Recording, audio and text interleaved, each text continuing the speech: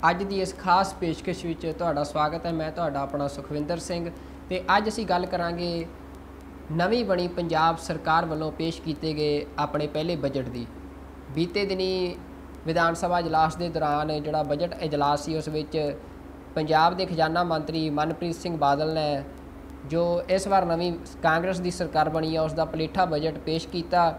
ਮਨਪ੍ਰੀਤ ਸਿੰਘ ਬਾਦਲ, ਜਿਨ੍ਹਾਂ ਬਾਰੇ ਇਹ ਕਿਹਾ ਜਾਂਦਾ ਹੈ ਕਿ ਉਹ ਆਰਥਿਕ, ਜੋ ਆਰਥਿਕ ਮਾਹਰ ਨੇ, ਆਰਥਿਕਤਾ ਦਾ ਚੰਗਾ ਉਹਨਾਂ ਨੂੰ ਗਿਆਨ ਆ, ਤੇ ਉਹਨਾਂ ਨੇ ਭਾਵੇਂ ਪਹਿਲਾਂ ਵੀ ਉਹ ਤਿੰਨ ਬਜਟ ਵਿਧਾਨ ਸਭਾ ਵਿੱਚ ਪੇਸ਼ ਕਰ ਚੁੱਕੇ ਨੇ, ਆਪਣੀਆਂ ਪਿਛਲੀਆਂ ਜਿਹੜੀਆਂ ਉਹਨਾਂ ਦੀਆਂ ਸਰਕਾਰਾਂ ਸਨ, ਉਹਨਾਂ ਦੇ ਕਾਰਜਕਾਲ ਦੌਰਾਨ, ਕਿਉਂਕਿ ਉਹ ਪਹਿਲਾਂ ਅਕਾਲੀ ਦਲ ਦੇ ਆਗੂ ਸੀ ਤੇ ਅਕਾਲੀ ਦਲ ਭਾਜਪਾ ਸਰਕਾਰ ਵਿੱਚ ਵੀ ਉਹ ਬਜਟ ਪੇਸ਼ ਕਰ ਚੁੱਕੇ ਨੇ, ਪਰ ਇਸ ਵਾਰ ਨਵੀਂ ਪਾਰਟੀ ਵਿੱਚ ਉਹ ਆਏ ਨੇ ਤੇ ਖਜ਼ਾਨਾ ਮੰਤਰੀ ਬਣੇ ਨੇ ਨਵੀਂ ਸਰਕਾਰ ਵਿੱਚ ਤੇ ਪਲੇਠਾ ਬਜਟ ਪੇਸ਼ ਕੀਤਾ।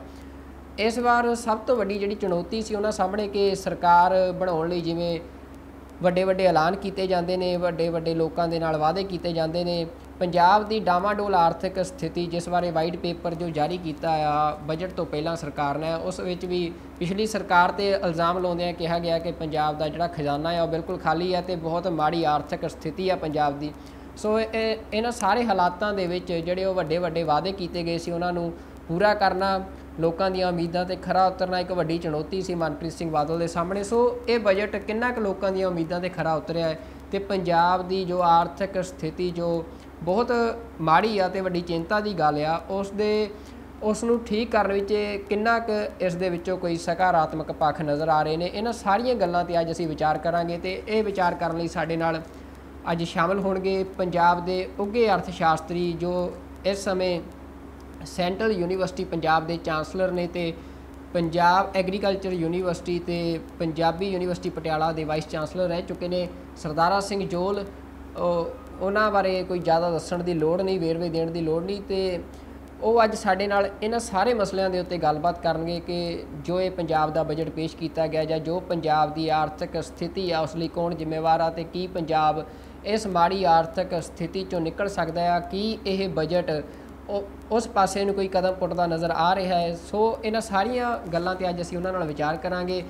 ਤਾਂ ਉਹਨਾਂ ਨਾਲ ਵਿਚਾਰ ਕਰਨ ਤੋਂ ਪਹਿਲਾਂ ਉਹ ਇੱਕ ਵਾਰ ਜੋ ਇਹ ਬਜਟ ਪੇਸ਼ ਕੀਤਾ ਗਿਆ, ਉਸ ਦੇ ਜੋ ਮੁੱਖ ਪਹਿਲੂ ਸਨ, ਉਹਨਾਂ ਤੇ ਇੱਕ ਨਿਗਾਹ ਮਾਰ ਲੈਂਦੇ ਆ ਮਾਲੀ ਵਰੇ 2017-18 ਲਈ ਕੁੱਲ 118237.90 ਕਰੋੜ ਰੁਪਏ ਦਾ ਬਜਟ ਪੇਸ਼ ਕੀਤਾ ਗਿਆ, ਜਿਸ ਵਿੱਚ ਮਾਲੀ ਖਰਚੇ 105514.84 ਕਰੋੜ ਰੁਪਏ ਦੇ ਹਨ। ਮਾਲੀ ਘਾਟਾ 14784.87 ਕਰੋੜ ਰੁਪਏ ਦਿਖਾਇਆ ਗਿਆ, ਜੋ ਪਿਛਲੇ ਸਾਲ 1 ਲੱਖ, ਜੋ ਪਿਛਲੇ ਸਾਲ 11362.02 ਕਰੋੜ ਸੀ। ਰਾਜਕੋਸ਼ੀ ਘਾਟਾ 23092.10 ਕਰੋੜ ਹੋਵੇਗਾ। ਇਸ ਬਾਰੇ ਦੌਰਾਨ ਸਰਕਾਰ ਵੱਲੋਂ ਕੇਂਦਰ ਸਰਕਾਰ ਦੀ ਤੈਅ ਕੀਤੀ ਹੱਦ ਮੁਤਾਬਕ 12819 ਕਰੋੜ ਰੁਪਏ ਦਾ ਕਰਜ਼ਾ ਲਿਆ ਜਾਣਾ ਹੈ। ਇਸ ਮਾਲੀ ਵਰੇ ਦੇ ਅੰਤ ਤੱਕ ਪੰਜਾਬ ਸਿਰ ਕਰਜ਼ਾ 1.95 ਲੱਖ ਕਰੋੜ ਪਹੁੰਚ ਜਾਵੇਗਾ। ਕਿਸਾਨਾਂ ਦਾ ਫਸਲੀ ਕਰਜ਼ਾ ਮਾਫ ਕਰਨ ਲਈ 1500 ਕਰੋੜ ਰੁਪਏ ਰੱਖੇ ਗਏ ਹਨ। ਖੇਤੀ ਖੇਤਰ ਲਈ 6383.01 ਕਰੋੜ ਰੁਪਏ ਰੱਖੇ ਗਏ ਹਨ। ਬੁਢਾਪਾ, ਵਿਧਵਾ ਅੰਗਹੀਣਾਂ ਦੀ ਮਹੀਨਾਵਾਰ ਪੈਨਸ਼ਨ 500 ਤੋਂ ਵਧਾ ਕੇ 750 ਰੁਪਏ ਕੀਤੀ ਗਈ ਹੈ। ਸ਼ਗਨ ਸਕੀਮ ਤਹਿਤ 15000 ਦੀ ਥਾਂ 21000 ਰੁਪਏ ਦੀ ਮਦਦ ਦਿੱਤੀ ਜਾਵੇਗੀ। ਪ੍ਰਵਾਸੀ ਪੰਜਾਬੀਆਂ ਦੀਆਂ ਸ਼ਿਕਾਇਤਾਂ ਦੇ ਨਿਬੇੜੇ ਲਈ ਲੋਕਪਾਲ ਬਣਾਉਣ ਦਾ ਐਲਾਨ ਕੀਤਾ ਗਿਆ। ਤੇਜ਼ਾਬ ਪੀੜਤ ਔਰਤਾਂ ਨੂੰ 8000 ਰੁਪਏ ਮਹੀਨਾਵਾਰ ਮਦਦ ਦਿੱਤੀ ਜਾਵੇਗੀ। ਸੁਤੰਤਰਤਾ ਸੈਨਾਨੀਆਂ ਨੂੰ 300 ਰੁਪਏ ਦੀ ਮੁਫਤ ਬਿਜਲੀ ਦਿੱਤੀ ਜਾਵੇਗੀ। ਆਮਦਨ ਦੇ ਮੁੱਖ ਵਸੀਲਿਆਂ ਦੀ ਗੱਲ ਕਰੀਏ ਤਾਂ ਵੈਟ ਤੋਂ ਆਮਦਨ 25800 ਕਰੋੜ ਰੁਪਏ, ਸ਼ਰਾਬ ਤੋਂ ਆਮਦਨ 5422.47 ਕਰੋੜ ਰੁਪਏ, ਅਸ਼ਟਾਮ ਤੇ ਰਜਿਸਟਰੀਆਂ ਤੋਂ ਆਮਦਨ 2400 ਕਰੋੜ ਰੁਪਏ, ਵਾਹਨਾਂ ਤੋਂ ਆਮਦਨ 3175 ਕਰੋੜ ਰੁਪਏ, ਬਿਜਲੀ ਡਿਊਟੀ ਤੋਂ ਆਮਦਨ 2400 ਕਰੋੜ ਰੁਪਏ, ਹੋਰ ਵਸੀਲਿਆਂ ਤੋਂ ਆਮਦਨ 328.81 ਕਰੋੜ ਰੁਪਏ, ਗੈਰ ਕਰ ਆਮਦਨੀ ਤੋਂ 105.30 ਕਰੋੜ ਰੁਪਏ ਆਮਦਨ, ਪੰਜਾਬ ਰੋਡਵੇਜ਼ ਤੋਂ ਆਮਦਨ 250 ਕਰੋੜ ਰੁਪਏ, ਸ਼ਹਿਰੀ ਵਿਕਾਸ ਤੋਂ ਆਮਦਨ 100 ਕਰੋੜ ਰੁਪਏ ਕੇਂਦਰੀ ਕਰਾਂ ਦਾ ਹਿੱਸਾ 10650.64 ਕਰੋੜ ਰੁਪਏ, ਕੇਂਦਰੀ ਗ੍ਰਾਂਟਾਂ 6678 ਕਰੋੜ ਰੁਪਏ।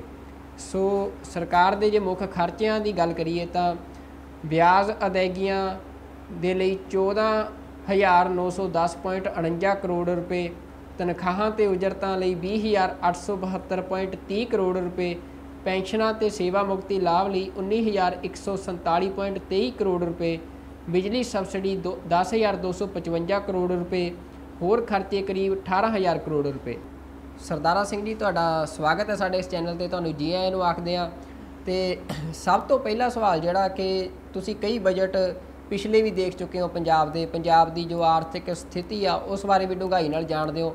ਸੋ ਪਹਿਲਾ ਸਵਾਲ, ਇੱਕ ਖੁੱਲੀ ਜੀ ਗੱਲਬਾਤ ਕਿ ਜਿਹੜਾ ਮਨਪ੍ਰੀਤ ਬਾਦਲ ਵੱਲੋਂ ਇਹ ਬਜਟ ਪੇਸ਼ ਕੀਤਾ ਗਿਆ ਆ, ਇਸ ਬਾਰੇ ਤੁਹਾਡਾ ਇੱਕ, ਤੁਹਾਡਾ ਕੀ ਨਜ਼ਰੀਆ ਆ? ਦੇਖੋ, ਇਹ ਬਜਟ ਜਿਹੜਾ ਆ ਯੂਜੂਅਲ ਬਜਟ ਹੈ ਜਿੱਦਾਂ ਆਮ ਬਜਟ ਹੁੰਦੇ ਆ।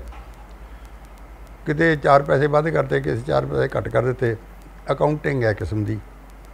ਤੇ ਇਹ ਹਰ ਸਾਲ ਹੁੰਦਾ ਆ। ਅੱਜ ਤੋਂ ਮੈਂ ਤਾਂ ਇਹਨੂੰ ਕਮ ਸੇ ਕਮ 20 ਸਾਲ ਹੋ ਗਿਆ ਮੈਂ ਦੇਖਦੇ ਨੂੰ।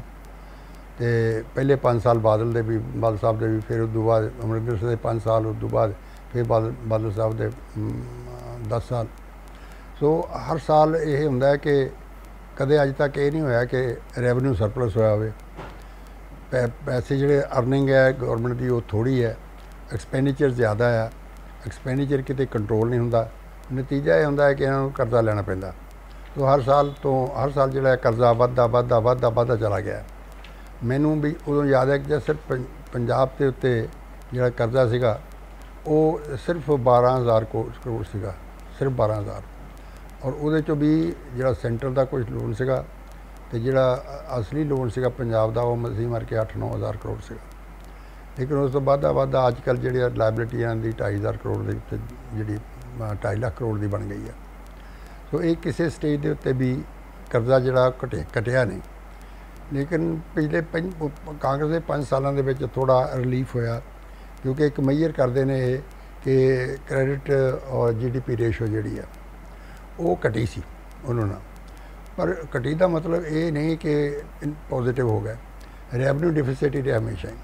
ਬਹੁਤਾ ਪੈਸਾ ਜਿਹੜਾ ਉਹ ਰੈਵਨਿਊ ਐਕਸਪੈਂਡੀਚਰ ਤੇ ਖੱਦ ਜਾਂਦਾ, ਤੇ ਇਹਨਾਂ ਚੋਂ ਕੋਈ ਪੈਸਾ ਡਿਵੈਲਪਮੈਂਟ ਲਈ ਬਚਦਾ ਨਹੀਂ।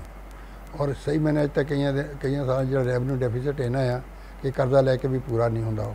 ਬਿਲਕੁਲ ਜੀ, ਜਿਵੇਂ ਤੁਸੀਂ ਇਹ ਗੱਲ ਕੀਤੀ ਆ, ਰੈਵਨਿਊ ਡੈਫੀਸਿਟ ਦੀ ਇੱਕ ਵੱਡਾ ਕਾਰਨ ਆ, ਪੰਜਾਬ ਦੀ ਜੋ ਆਰਥਿਕ ਸਥਿਤੀ ਆ ਉਸ ਦੇ ਖਰਾਬ ਹੋਣ ਦਾ ਤੇ ਕੀ ਪੰਜਾਬ ਤੋਂ ਇਲਾਵਾ ਜਿਹੜੇ ਹੋਰ ਸੂਬੇ ਨੇ, ਜਿਹੜਾ ਭਾਰਤ ਦਾ ਇਹ ਪ੍ਰਸ਼ਾਸਨਿਕ ਖੇਤਰ ਆਉਂਦਾ ਆ ਉਸ ਦੇ ਵਿੱਚ ਪੈਂਦੇ ਨੇ ਤੇ ਕੀ ਉਹਨਾਂ ਸਾਰੇ ਸੂਬਿਆਂ ਦਾ ਇਹੋ ਜਿਹਾ ਹਾਲ ਆ ਜਾਂ ਸਿਰਫ ਪੰਜਾਬ ਦੇ ਵਿੱਚ ਹੀ ਜਿਹੜੀ ਇਹ ਆਰਥਿਕ ਸਥਿਤੀ ਆ, ਇੰਨੀ ਜ਼ਿਆਦਾ ਡਾਵਾਂਡੋਲ ਆ? ਸਾਰੀਆਂ ਸਟੇਟ ਦਾ ਹਾਲ ਹੈ। ਅਸਲ ਵਿੱਚ ਜਦੋਂ ਪੇ ਕਮਿਸ਼ਨ ਨੇ ਰਿਪੋਰਟ ਦਿੱਤੀ ਸੀ ਅੱਜ ਤੋਂ 8-10 ਸਾਲ ਪਹਿਲਾਂ 15 ਉਹਦੇ ਵਿੱਚ ਉਹਨਾਂ ਨੇ ਸੈਲਰੀਜ਼ ਇੰਨੀਆਂ ਵਧਾਤੀਆਂ ਬੇਤਹਾਸ਼ਾਈ ਕਿ 3 ਟਾਈਮਸ ਸੈਲਰੀਆਂ ਕਰਤੀਆਂ 3-4 ਟਾਈਮਸ ਕਰਕੇ ਉਹ ਫਿਰ ਉਹ ਤੋਂ ਇੰਡੈਕਸ 'ਚ ਲੱਗੀਆਂ ਹੋਈਆਂ ਸੈਲਰੀਆਂ ਸਾਰੀਆਂ ਜੋ ਜੋ ਇਨਫਲੇਸ਼ਨ ਹੁੰਦੀ ਜਾਂਦੀ ਆਟੋਮੈਟਿਕਲੀ ਵਧੀ ਜਾ ਰਹੀਆਂ। ਲੇਕਿਨ ਰੈਵਨਿਊ ਉਦਾਂ ਨਹੀਂ ਵਧ ਰਿਹਾ।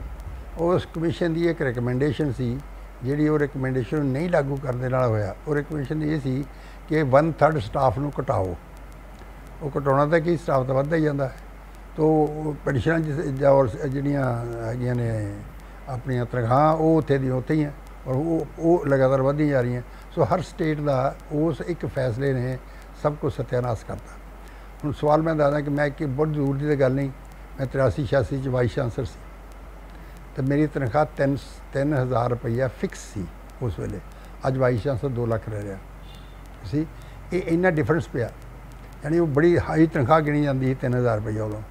ਉਹ ਕਿੰਨੇ ਗੱਲ 25 ਸਾਲ ਹੋਏ ਪਿੱਛੇ। ਉਹਦੇ 'ਚ ਕਿੰਨਾ ਫ਼ਰਕ ਪੈ ਗਿਆ। ਸੋ ਇਸੇ ਨੇ ਸਾਰੀਆਂ ਸਟੇਟਾਂ ਮਾਰ ਲਈਆਂ, ਪੰਜਾਬ ਨੂੰ ਵੀ ਮਾਰਿਆ। ਪੰਜਾਬ ਦੀ ਜਿਹੜੀ ਇਹ ਸੈਲਰੀ ਸਟਰਕਚਰ ਹੈ, ਬਾਕੀ ਸਟੇਟਾਂ ਨਾਲ ਸੈਂਟਰ ਨਾਲ ਵੀ ਹਾਈ ਹੈ। ਇੱਕ ਪਾਸੇ ਇਹ ਵੀ ਚੀਜ਼ ਹੈ। ਤੇ ਸੋ ਇਹ ਜਿਹੜੀ ਬਹੁਤਾ ਪੈਸਾ ਜਿਹੜਾ ਜਾਂ ਗਿਆ ਖਤਮ ਹੁੰਦਾ, ਉਹ ਉਹ ਹੁੰਦਾ ਸੈਲਰੀ ਦੇ ਵਿੱਚ ਔਰ ਪੈਨਸ਼ਨਾਂ ਦੇ ਵਿੱਚ, ਔਰ ਇੰਟਰਸਟ ਦੇ ਵਿੱਚ ਪੇ ਕਿਉਂਕਿ ਲੋਨ ਲੈਂਦੇ ਆ ਔਰ ਬਾਕੀ ਕਮਿਟਡ ਐਕਸਪੈਂਡੀਚਰ ਦੇ ਵਿੱਚ। ਦਰਅਸਲ ਫਰ ਡਿਵੈਲਪਮੈਂਟ ਕਰਨ ਵਾਸਤੇ ਇਹਨਾਂ ਕੋਲ ਪੈਸਾ ਬਚਦਾ ਹੀ ਨਹੀਂ। ਰੈਵਨਿਊ ਐਕਸਪੈਂਡੀਚਰ ਦੀ ਵੀ ਅਸੀਂ ਗੱਲ ਕਰਨੀ ਹੋਵੇ ਤਾਂ ਅੰਕੜਿਆਂ ਤੋਂ ਵੀ ਬਿਲਕੁਲ ਤੁਹਾਡੀ ਗੱਲ ਇਹ ਸਾਫ਼ ਸਪਸ਼ਟ ਹੁੰਦੀ ਆ। ਜੇ ਅਸੀਂ ਅੰਕੜਿਆਂ ਤੇ ਨਜ਼ਰ ਮਾਰੀਏ ਤਾਂ ਜੋ ਵਾਈਟ ਪੇਪਰ ਵਿੱਚ ਅੰਕੜੇ ਜਾਰੀ ਕੀਤੇ ਗਏ ਨੇ ਇਸ ਵਾਰ ਉਹਨਾਂ ਅਨੁਸਾਰ ਕਿ 2006-7 ਵਿੱਚ ਜਿਹੜਾ ਤਨਖਾਹਾਂ ਉੱਤੇ ਕੁੱਲ ਮਾਲੀ ਖਰਚ ਸੀ ਉਹ 5783 ਕਰੋੜ ਰੁਪਇਆ ਸੀ ਜੋ 2016-17 ਵਿੱਚ 19800 ਕਰੋੜ ਰੁਪਇਆ ਹੋ ਚੁੱਕਿਆ ਤੇ ਪੈਨਸ਼ਨਾਂ ਦਾ ਜਿਹੜਾ ਮਾਲੀ ਖਰਚ ਸੀ ਉਹ 2006-7 ਵਿੱਚ ਅ, ਇ- ਅ, 1905 ਕਰੋੜ ਰੁਪਇਆ ਸੀ ਜੋ ਕਿ 2016-17 ਦੇ ਵਿੱਚ 8140 ਕਰੋੜ ਰੁਪਇਆ ਹੋ ਚੁੱਕਿਆ ਤੇ ਇਸ ਵਾਰ ਦੇ ਵੀ ਅਸੀਂ ਬਜਟ ਦੀ ਗੱਲ ਕਰੀਏ ਤਾਂ ਜਿਹੜੇ ਸਰਕਾਰ ਦੇ ਮੁੱਖ ਖਰਚੇ ਨੇ, ਉਹਨਾਂ ਦੇ ਵਿੱਚ ਤਨਖਾਹਾਂ ਤੇ ਉਜਰਤਾਂ ਦੇ ਉੱਤੇ 20872.30 ਕਰੋੜ ਰੁਪਇਆ ਖਰਚਿਆ ਜਾਣ ਰੱਖਿਆ ਗਿਆ ਤੇ ਪੈਨਸ਼ਨਾਂ ਤੇ ਸੇਵਾ ਮੁਕਤੀ ਲਾਭ ਉੱਤੇ 19147.23 ਕਰੋੜ ਰੁਪਇਆ ਖਰਚੇ ਜਾਣੇ ਰੱਖਿਆ ਗਿਆ। ਸੋ ਜਿਵੇਂ ਤੁਸੀਂ ਕਿਹਾ ਕਿ ਜਿਹੜਾ ਪੰਜਾਬ ਦਾ ਪੇ ਸਕੇਲ ਆ, ਉਹ ਬਾਕੀ ਸੂਬਿਆਂ ਦੇ ਨਾਲੋਂ ਬਹੁਤ ਜ਼ਿਆਦਾ ਆ ਜਿਹੜਾ ਪੇ ਕਮਿਸ਼ਨ ਦੇ ਨਾਲ ਸੰਬੰਧਿਤ ਆ ਤੇ ਮਨਪ੍ਰੀਤ ਸਿੰਘ ਬਾਦਲ ਨੇ ਪੰਜਾਬ ਦੇ ਖਜ਼ਾਨਾ ਮੰਤਰੀ ਨੇ ਵੀ ਆਪਣੀ ਗੱਲਬਾਤ ਵਿੱਚ ਇਸ ਤੇ ਚਿੰਤਾ ਪ੍ਰਗਟ ਕੀਤੀ ਸੀ। ਸਮੱਸਿਆ ਉਹਨਾਂ ਦੇ ਲਈ ਸਮੱਸਿਆ ਸਾਰੇ ਹਿੰਦੁਸਤਾਨ ਲਈ ਹੈ ਇਹ ਇੱਕ ਪੇ ਕਮਿਸ਼ਨ ਦੀ ਜਿਹੜੀ ਹੈ ਨਾ, ਇਹ ਰਿਪੋਰਟ ਨੇ ਤਬਾਹ ਕੀਤਾ ਹਿੰਦੁਸਤਾਨ ਪੰਜਾਬ ਦੀ ਆਪਣੀ ਸਾਰੀ ਹਿੰਦੁਸਤਾਨ ਦੀ ਇਕਨੋਮੀ ਨੂੰ। ਔਰ ਇਹਨਾਂ ਬਗੈਰ ਸੋਚੇ ਕਿਉਂਕਿ ਉਹ ਰਿਪੋਰਟ ਮਿਲ ਗਈ ਅੰਡਰ ਪ੍ਰੈਸ਼ਰ ਨੇ ਉਹਨਾਂ ਨੂੰ ਐਪਲੀਕੇਸ਼ਨ ਕਰਤਾ, ਜਿਹੜੀਆਂ ਉਹਦੀਆਂ ਕੰਡੀਸ਼ਨ ਸੀ ਉਹ ਨਹੀਂ ਲਾਈਆਂ। ਇਹ ਪ੍ਰੋਬਲਮ ਹੋਈ ਹੈ ਇਸ ਤੋਂ ਇਲਾਵਾ ਇੱਕ ਵੱਡਾ ਫਿਕਰ ਹੋਰ ਜੋ ਪੰਜਾਬ ਦੀ ਆਰਥਿਕਤਾ ਬਾਰੇ ਆ ਉਹ- ਪੰਜਾਬ ਸਿਰ ਚੜ ਰਿਹਾ ਕਰਜ਼ਾ ਹੈ। ਜਿਵੇਂ ਪੰਜਾਬ ਦੀ ਕਿਸਾਨੀ ਦੇ ਉੱਤੇ ਕਿਹਾ ਜਾਂਦਾ ਹੈ ਕਿ ਜਿਹੜੀ ਕਰਜ਼ੇ ਦੀ ਪੰਡ ਆ ਉਹ ਲਗਾਤਾਰ ਭਾਰੀ ਹੁੰਦੀ ਜਾ ਰਹੀ ਹੈ। ਪੰਜਾਬ ਦਾ ਵੀ ਉਹੀ ਹਾਲ ਹੈ। ਪੰਜਾਬ ਦੇ ਸਿਰ ਵੀ ਕਰਜ਼ੇ ਦੀ ਪੰਡ ਲਗਾਤਾਰ ਭਾਰੀ ਹੁੰਦੀ ਜਾ ਰਹੀ ਹੈ ਤੇ ਇਸ ਮਾਲੀ ਵਰੇ ਦੇ ਅੰਤ ਤੱਕ ਜਿਹੜਾ ਇਹ ਪੰਜਾਬ ਦੇ ਸਿਰ ਕਰਜ਼ਾ ਆ ਉਹ ਸਰਕਾਰੀ ਅੰਕੜਿਆਂ ਅਨੁਸਾਰ ਉਹ 1.95 ਲੱਖ ਕਰੋੜ ਦਾ ਉਹ ਹੋ ਜਾਵੇਗਾ। ਇਹਦਾ ਡਾਇਰੈਕਟ ਕਰਜ਼ਾ ਹੈ ਨਾ। ਹਾਂਜੀ।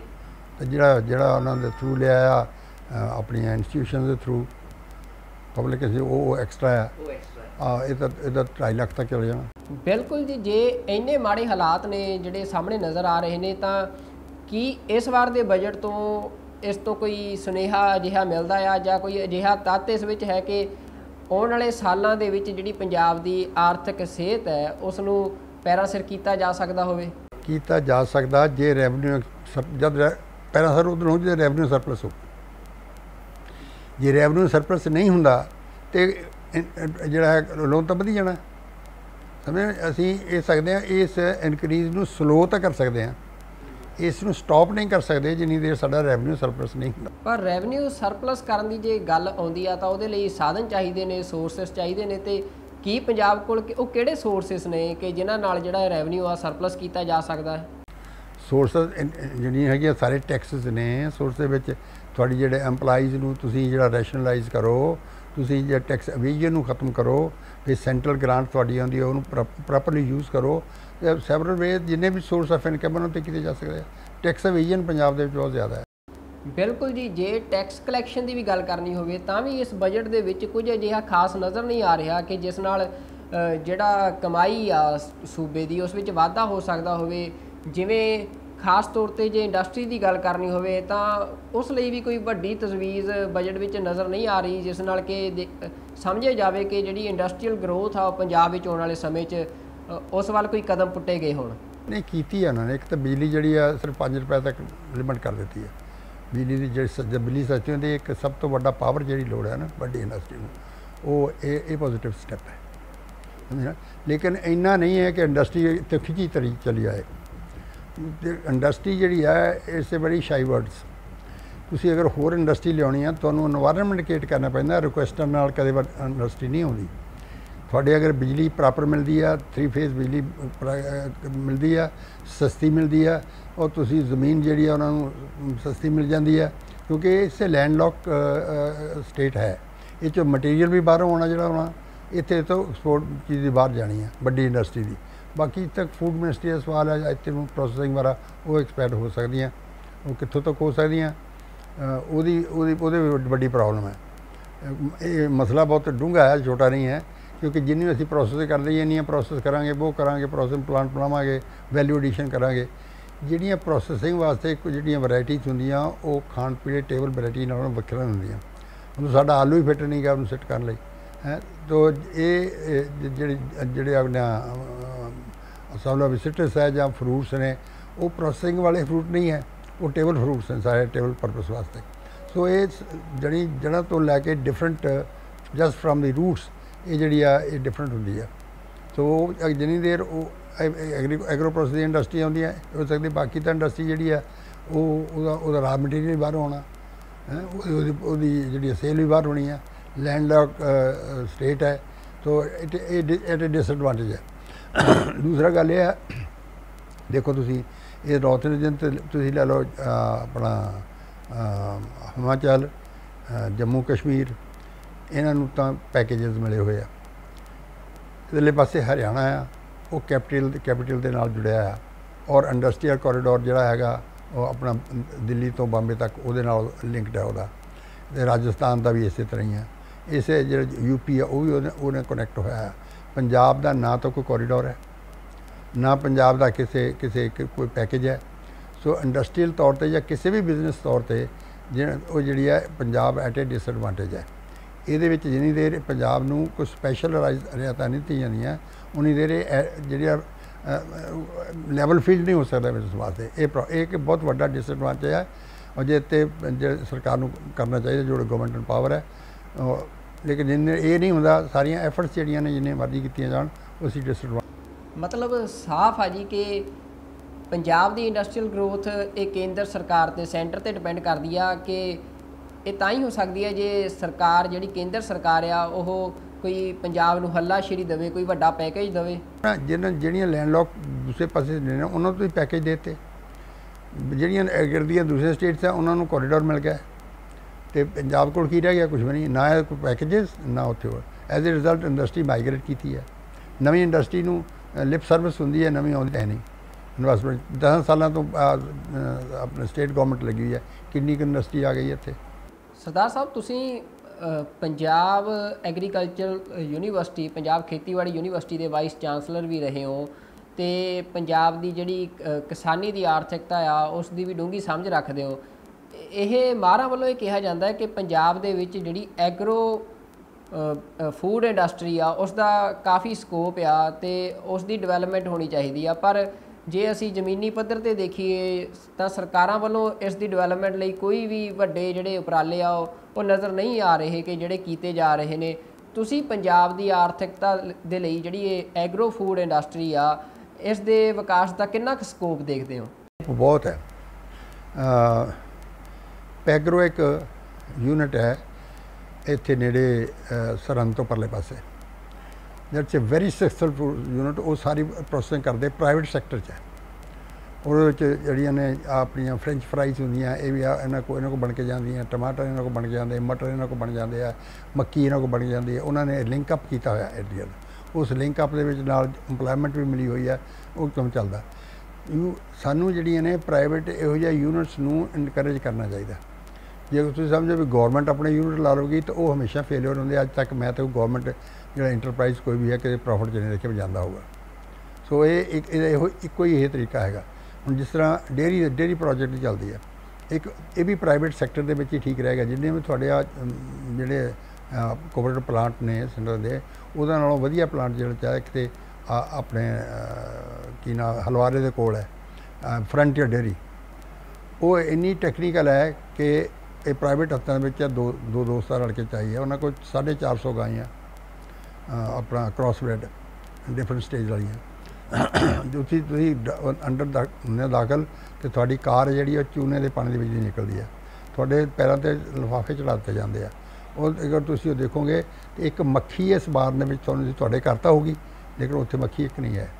ਐਵਰੀਥਿੰਗ ਇਜ਼ ਆਟੋਮੈਟਿਕ ਕਿਤੇ ਦੁੱਧ ਨੂੰ ਹੱਥ ਨਹੀਂ ਲੱਗਦਾ ਐਂਡ ਪੈਕ ਹੋ ਕੇ ਜਿਹੜਾ ਦੁੱਧ ਮਿਲਦਾ ਉਹ ਅੱਗੇ ਡਿਲੀਵਰ ਕਰ ਦਿੰਦੇ ਆ ਔਰ they are giving a very competitive price ਜੇ ਅੱਜ ਵੇਰਕੇ ਦਾ ਜਿਹੜਾ ਦੁੱਧ ਅੱਜ 48 ਕਿਲੋ, ਦਾ ਕਿਲੋ ਮਿਲਦਾ ਇਹ ਤੇ ਕੋਈ ਯਕੀਨ ਨਹੀਂ ਇਸ ਵੇਲੇ ਸਹੀ ਮੈਨੇ ਤੇ ਲੇਕਿਨ ਉਹਨਾਂ ਦਾ ਦੁੱਧ ਜੇ 45 ਤੇ ਮਿਲਦਾ, ਤਾਂ ਬਾਹਰ ਰੱਖ ਛੱਡੋ ਉਸ ਨੂੰ।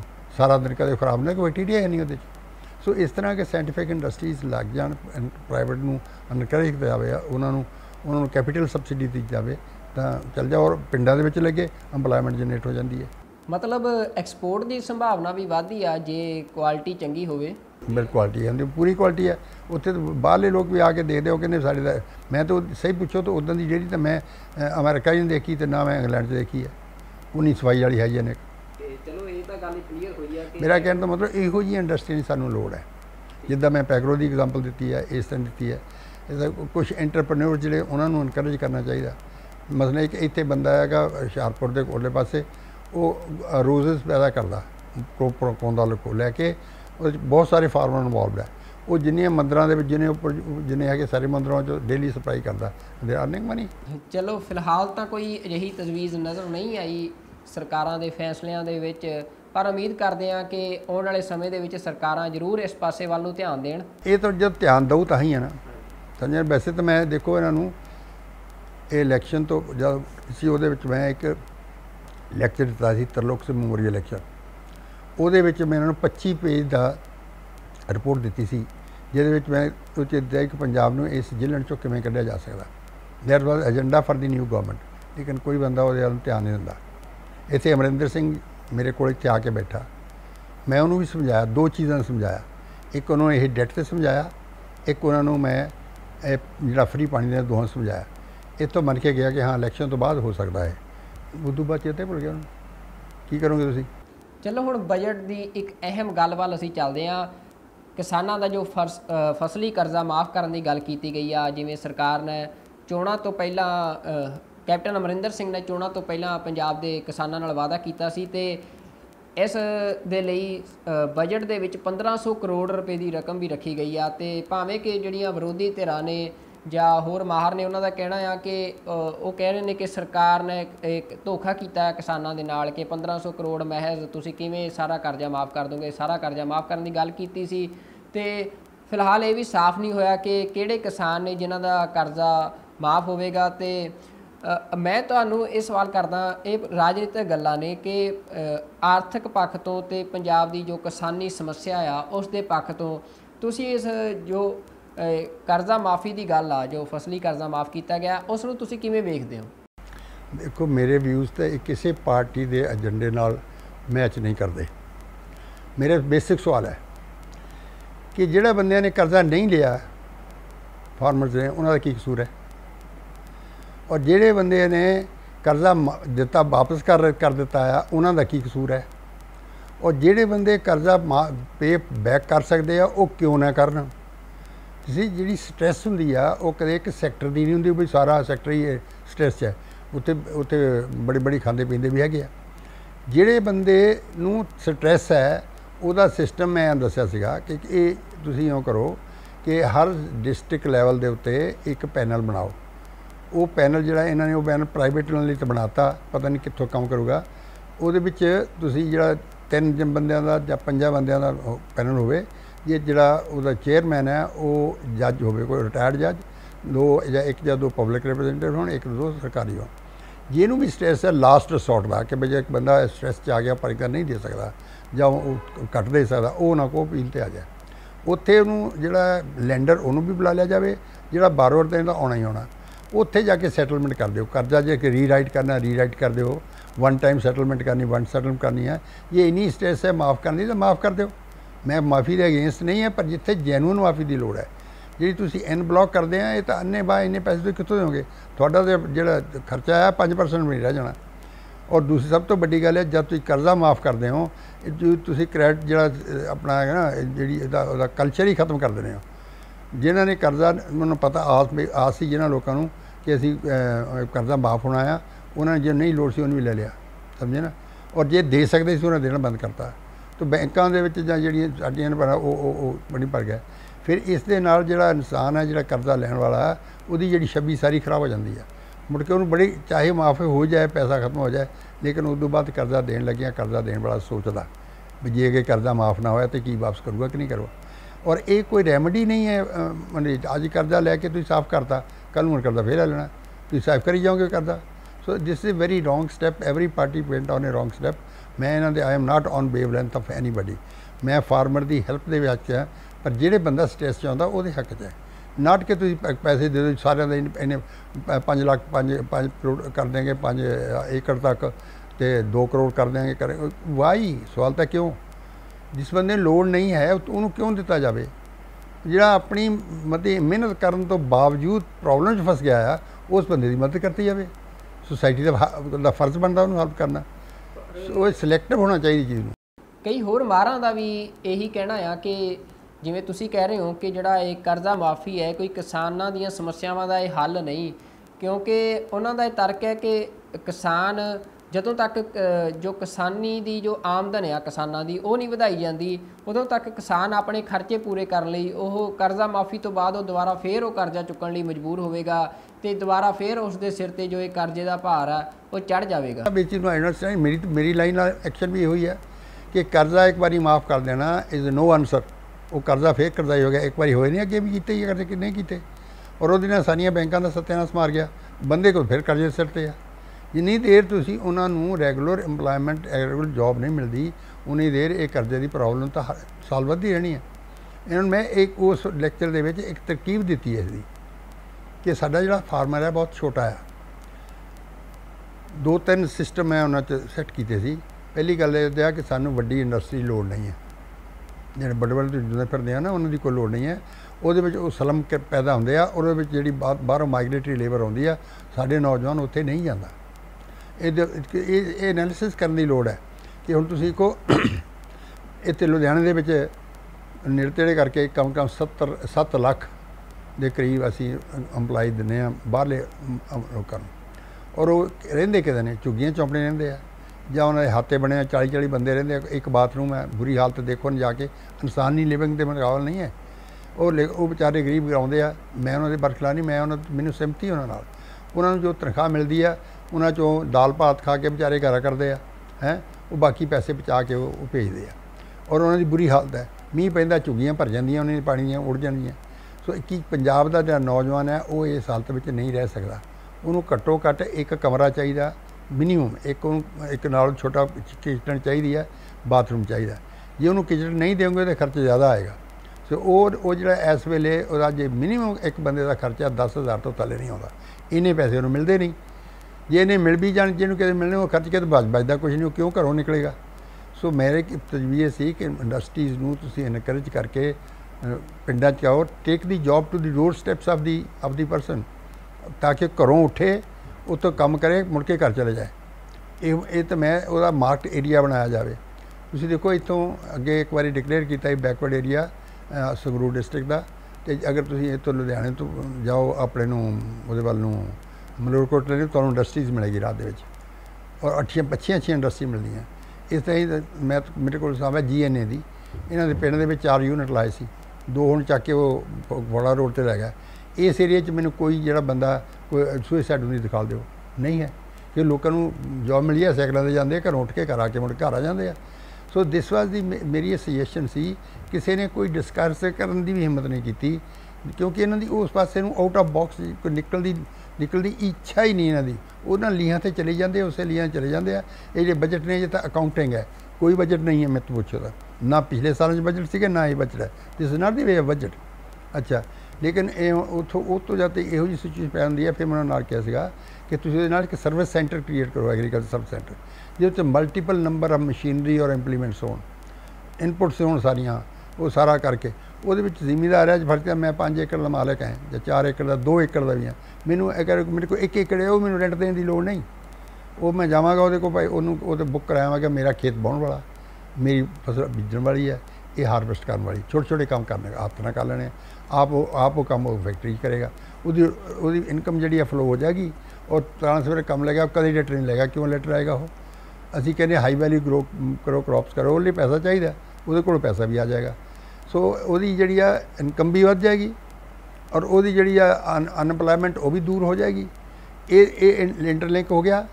ਸੋ ਉਸ ਤੋਂ ਬਾਅਦ ਜਿਹੜੀ ਆ ਤੁਸੀਂ ਮੈਂ ਉਹਨੂੰ ਕਿਹਾ ਵੀ ਹਰ ਪਿੰਡ ਦੇ ਵਿੱਚ ਤੁਸੀਂ ਪਲੇਗਰਾਉਂਡ ਬਣਾਓ। ਕਿਉਂਕਿ ਮੇਰਾ ਨਸ਼ਿਆਂ ਤੇ ਵੀ ਹੈ ਨਾ ਹਿੱਟ ਸੀਗੀ। ਵੀ ਪਲੇਗਰਾਉਂਡ ਬਣਾਓ ਹਰ ਹਰ ਹੈਬਿਟੇਟ ਦੇ ਵਿੱਚ। ਔਰ ਇਹ ਉਹ ਜੇ ਸਸਤੀਆਂ ਗੇਮਾਂ, ਜਿੱਦਾਂ ਕਿ ਫੁੱਟਬਾਲ, ਵਾਲੀਬਾਲ ਜਿਹੜੇ ਹੁੰਦਾ ਉਸ ਮਹਿੰਗੀਆਂ ਗੇਮਾਂ ਦੀ ਲੋੜ ਨਹੀਂ ਹੈ। ਕਬੱਡੀ ਹੋਵੇ ਕੋਲ ਦਾ ਕਾਲਾ ਜਾਏ ਨਾਲ ਇੱਕ ਛੋਟੀ ਜਿਹੀ ਲਾਇਬ੍ਰੇਰੀ ਬਣਾ ਦਿਓ। ਉਹਦੇ ਵਿੱਚ ਰੋਜ਼ ਕਮ ਸੇ ਕਮ ਇੱਕ ਅਖਬਾਰ ਆਵੇ। ਉਹ ਇੱਕ ਬੰਦਾ ਜਾਂਦਾ, ਸਵੇਰੇ ਉੱਠਿਆ, ਮੈਂ ਆ ਕੰਮ ਗਿਆ, ਕੰਮ ਕੇ ਰਾਤ ਸ਼ਾਮ ਨੂੰ ਆ ਗਿਆ, ਸ਼ਾਮ ਨੂੰ ਪਾਣੀ ਥਾਣੀ ਕਾ ਕੇ, ਜਾਂ ਮੈਂ ਖੇਲਣ ਜਾਊਂਗਾ, ਜਾਂ ਖੇਲ ਦੇਖਣ ਜਾਊਂਗਾ, ਜਾਂ ਪੜ੍ਹਨ ਜਾਊਂਗਾ, ਲਾਇਬ੍ਰੇਰੀ ਦੇਖੂੰਗਾ, ਸਾਰਾ ਬਿਜ਼ੀ ਹੋ ਗਿਆ। ਉਹਦੇ ਕੋਲ ਟਾਈਮ ਹੀ ਨਹੀਂ ਹੋਗਾ ਕਿ ਸ਼ਰਾਬ ਪੀਣ ਦਾ ਜਾਂ ਕਿਸੇ ਨਸ਼ਾ ਕਰਨ ਦਾ। ਸੋ ਇਹ ਜਿਹੜਾ, ਇਹ ਲਿੰਕ ਅਪ ਜਿਹੜਾ ਹੈ ਨਾ, ਇਹ ਬਹੁਤ ਜ਼ਰੂਰੀ ਆ ਇਹ ਮੈਂ ਇੱਕ ਇੰਟੈਗ੍ਰੇਟਿਡ ਰਿਪੋਰਟ ਦਿੱਤੀ ਹੈ ਇਹਦੇ ਵਿੱਚ। ਉਸ ਸਵਾਲ ਨੂੰ ਕਿਸੇ ਨੇ ਨਹੀਂ ਸੋਚਿਆ। ਹਾਲਾਂਕਿ ਉਹ ਮੈਂ ਉਹ ਉਹ ਜਿਹੜੀ ਭੇਜੀ ਗਈ ਸਰ ਬਾਦਲ ਨੂੰ ਵੀ ਭੇਜੀਆਂ ਗਈਆਂ, ਸੁਖਬੀਰ ਨੂੰ ਵੀ ਭੇਜੀ ਗਈ, ਸੈਕਟਰੀ ਨੂੰ ਵੀ ਭੇਜੀ ਗਈ ਪ੍ਰਿੰਸੀਪਲ ਸੈਕਟਰੀ ਨੂੰ ਭੇਜੀ ਗਈ, ਉਹਨਾਂ ਦੇ ਚੀਫ ਸੈਕਟਰੀ ਨੂੰ ਭੇਜੀ ਗਈ, ਅਮਰਿੰਦਰ ਸਿੰਘ ਨੂੰ ਭੇਜੀ ਗਈ, ਅਮਰਿੰਦਰ ਸਿੰਘ ਨੂੰ ਆਪਣੇ ਹੱਥੀਂ ਦੇ ਕੇ ਆਇਆ। ਉਹ ਇਹ ਨਹੀਂ ਕਹਿ ਸਕਦਾ ਮੈਨੂੰ ਰਿਪੋਰਟ ਨਹੀਂ ਮਿਲੀ। ਮੈਂ ਉਹਨੂੰ ਕਹਿ ਕੇ ਆਇਆ ਕਿ ਇਹਨੂੰ ਪੜ੍ਹ ਲੈ ਇੱਕ ਵਾਰੀ। ਕੋਈ ਰਿਸਪੌਂਸ ਨਹੀਂ ਉਹਦੇ ਉੱਤੇ। ਫਿਰ ਮਨਪ੍ਰੀਤ ਨੂੰ ਭੇਜੀ, ਕੋਈ ਰਿਸਪੌਂਸ ਨਹੀਂ ਉਹ ਤੋਂ ਕੇਜਰੀਵਾਲ ਨੂੰ ਭੇਜੀ। ਉਹਨੂੰ ਕੋਈ ਹਾਂ, ਇਹੀ ਚੀਜ਼ ਮੈਂ ਇੱਥੇ ਅਮਰਿੰਦਰ ਸਿੰਘ ਨੂੰ ਸਮਝਾਈ ਕਹਿੰਦਾ ਇਹ ਅ, ਉਹ ਤੋਂ ਬਜਟ ਤੋਂ ਬਾਹਰ ਹੋ ਸਕਦੀ ਹੈ। ਸੋ ਨਹੀਂ ਹੋ ਸਕਦੀ ਕੋਈ ਡਿਸਕਸ ਤਾਂ ਕਰ ਲਓ। ਉਹ ਨਹੀਂ ਉਹਨਾਂ ਨੇ ਨਵੀਂ ਕਮੇਟੀ ਬਣਾਤੀ ਕਿ ਜੀ ਇਹ ਦੱਸੋ ਲੋਨ ਜਾਂ ਸੋਰਸ ਕਿੱਥੋਂ। ਉਹ ਗਰੀਬ ਕਿੱਥੋਂ ਦੱਸਣਗੇ ਸੋਰਸ ਕਾ ਦੱਸ ਰਹੇ ਆ? ਉਹ ਨਹੀਂ ਆ ਕਰਤਾ ਇਹ ਤਾਂ ਇਹ ਤਾਂ ਆਪੇ ਗਵਰਨਮੈਂਟ ਕਰ ਸਕਦੀ ਵੀ ਕਿੱਥੇ ਸਾਡੀ ਲੋੜ ਹੈ। 1 ਲੱਖ ਕਰੀਏ ਜਾਂ 2 ਲੱਖ ਕਰੀਏ ਜਾਂ 1.5 ਲੱਖ ਕਰੀਏ। ਇਹ ਇਸ ਰਿਪੋਰਟ ਤੇ ਕੀ ਡਿਪੈਂਡੈਂਸ ਹੈ ਦੀ ਹੈ? ਸੋ ਇਹ ਉਸ ਉਸ ਨੂੰ ਇਹਨਾਂ ਨੇ ਕਿਸੇ ਹੱਦ ਤੱਕ ਡਿਸਕਸ ਹੀ ਨਹੀਂ ਕੀਤਾ ਕਿਸੇ ਜਗ੍ਹਾ ਦੇ ਉੱਤੇ ਚਲੋ ਇਹ ਗੱਲ ਤਾਂ ਹੁਣ ਅਨਫੋਰਚੂਨੇਟ ਪਾਰਟ ਇਹ ਹੈ ਕਿ ਜਿਹੜੀ ਸਾਰੀਆਂ ਗਵਰਨਮੈਂਟਾਂ ਹੁਣ ਤੱਕ ਇਹ ਸਾਰੀਆਂ ਮੇਰੇ ਤੋਂ ਸ਼ਾਈਵੇ ਕਰਦੀਆਂ ਰਹੀਆਂ। ਬਿਲਕੁਲ ਜੀ, ਅਸੀਂ ਵੀ ਦਰਸਲ ਇਹੀ ਜਾਣਨਾ ਚਾਹੁੰਦੇ ਹਾਂ, ਕਿਉਂਕਿ ਤੁਸੀਂ ਇਹ ਜੇ ਅਸੀਂ ਨਿਗਾਹ ਮਾਰ ਕੇ ਦੇਖੀਏ ਬਜਟ ਤਾਂ ਹਰ ਸਾਲ ਪੇਸ਼ ਕੀਤਾ ਜਾਂਦਾ ਆ, ਇਹ ਤਾਂ ਇੱਕ ਅੰਕੜਿਆਂ ਦੀ ਖੇਡ ਆ। ਪਰ ਇਸ ਤੋਂ ਇਲਾਵਾ ਪੰਜਾਬ ਦੀ ਜੋ ਆਰਥਿਕ ਹਾਲਾਤ ਨੇ, ਪੰਜਾਬ ਦਾ ਅੱਜ ਵੱਡਾ ਹਿੱਸਾ ਕਿਸਾਨੀ ਨਾਲ ਜੁੜਿਆ ਹੋਇਆ ਤੇ ਕਿਸਾਨੀ ਕੋਈ ਲਾਹੇਵੰਦ ਧੰਦਾ ਨਹੀਂ ਰਿਹਾ ਤੇ ਬੇਰੋਜ਼ਗਾਰੀ ਲਗਾਤਾਰ ਵੱਧ ਰਹੀ ਆ ਤੇ ਪੰਜਾਬ ਦਾ ਨੌਜਵਾਨ ਪੰਜਾਬ ਨੂੰ ਛੱਡ ਵਿਦੇਸ਼ਾਂ ਨੂੰ ਪ੍ਰਵਾਸ ਕਰਨ ਲਈ ਮਜਬੂਰ ਹੋ ਰਿਹਾ ਤੇ ਇਸ ਦੇ ਗੰਭੀਰ ਸਿੱਟੇ ਅੱਜ ਸਾਹਮਣੇ ਆਉਣ ਵੀ ਲੱਗੇ ਨੇ ਤੇ ਆਉਣ ਵਾਲੇ ਸਾਲਾਂ 'ਚ ਇੱਕ ਵੱਡੀ ਗੰਭੀਰ ਸਮੱਸਿਆ ਪੰਜਾਬ ਸਾਹਮਣੇ ਖੜੀ ਹੋ ਰਹੀ ਆ।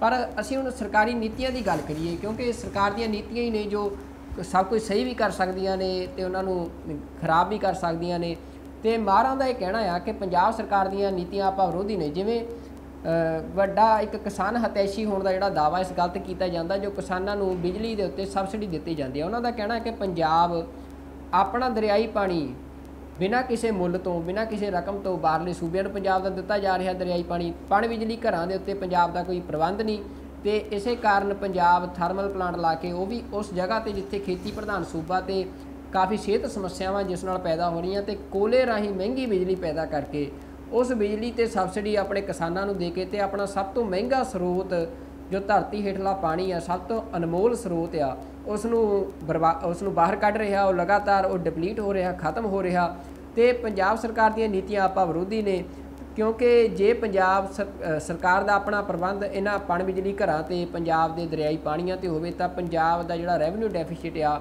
ਉਸ ਨੂੰ ਘੱਟ ਕੀਤਾ ਜਾ ਸਕਦਾ ਹੈ, ਬਲਕਿ ਰੈਵਨਿਊ ਵਧਾਇਆ ਜਾ ਸਕਦਾ ਆ ਉਸ ਨੂੰ ਗੇਨ ਚ ਲਿਜਾਇਆ ਜਾ ਸਕਦਾ ਤੇ ਉਹਨਾਂ ਦਾ ਇਹ ਕਹਿਣਾ ਆ ਕਿ ਜਦੋਂ ਤੱਕ ਸਰਕਾਰ ਦੀਆਂ ਨੀਤੀਆਂ ਇਹ ਆਪਾ ਵਿਰੋਧੀ ਨੀਤੀਆਂ ਰਹਿਣਗੀਆਂ, ਉਦੋਂ ਤੱਕ ਤਾਂ ਪੰਜਾਬ ਨੂੰ ਕਦੇ ਵੀ ਜਿਹੜਾ ਕਰਜ਼ੇ ਤੋਂ ਮੁਕਤ ਨਹੀਂ ਕੀਤਾ ਜਾ ਸਕਦਾ। ਮੇਰੀ ਤੇ ਇਸ ਬਾਰੇ ਅੱਜ ਤੋਂ 20 ਸਾਲ ਤੋਂ ਪਹਿਲਾਂ ਲੜਾਈ ਹੈ।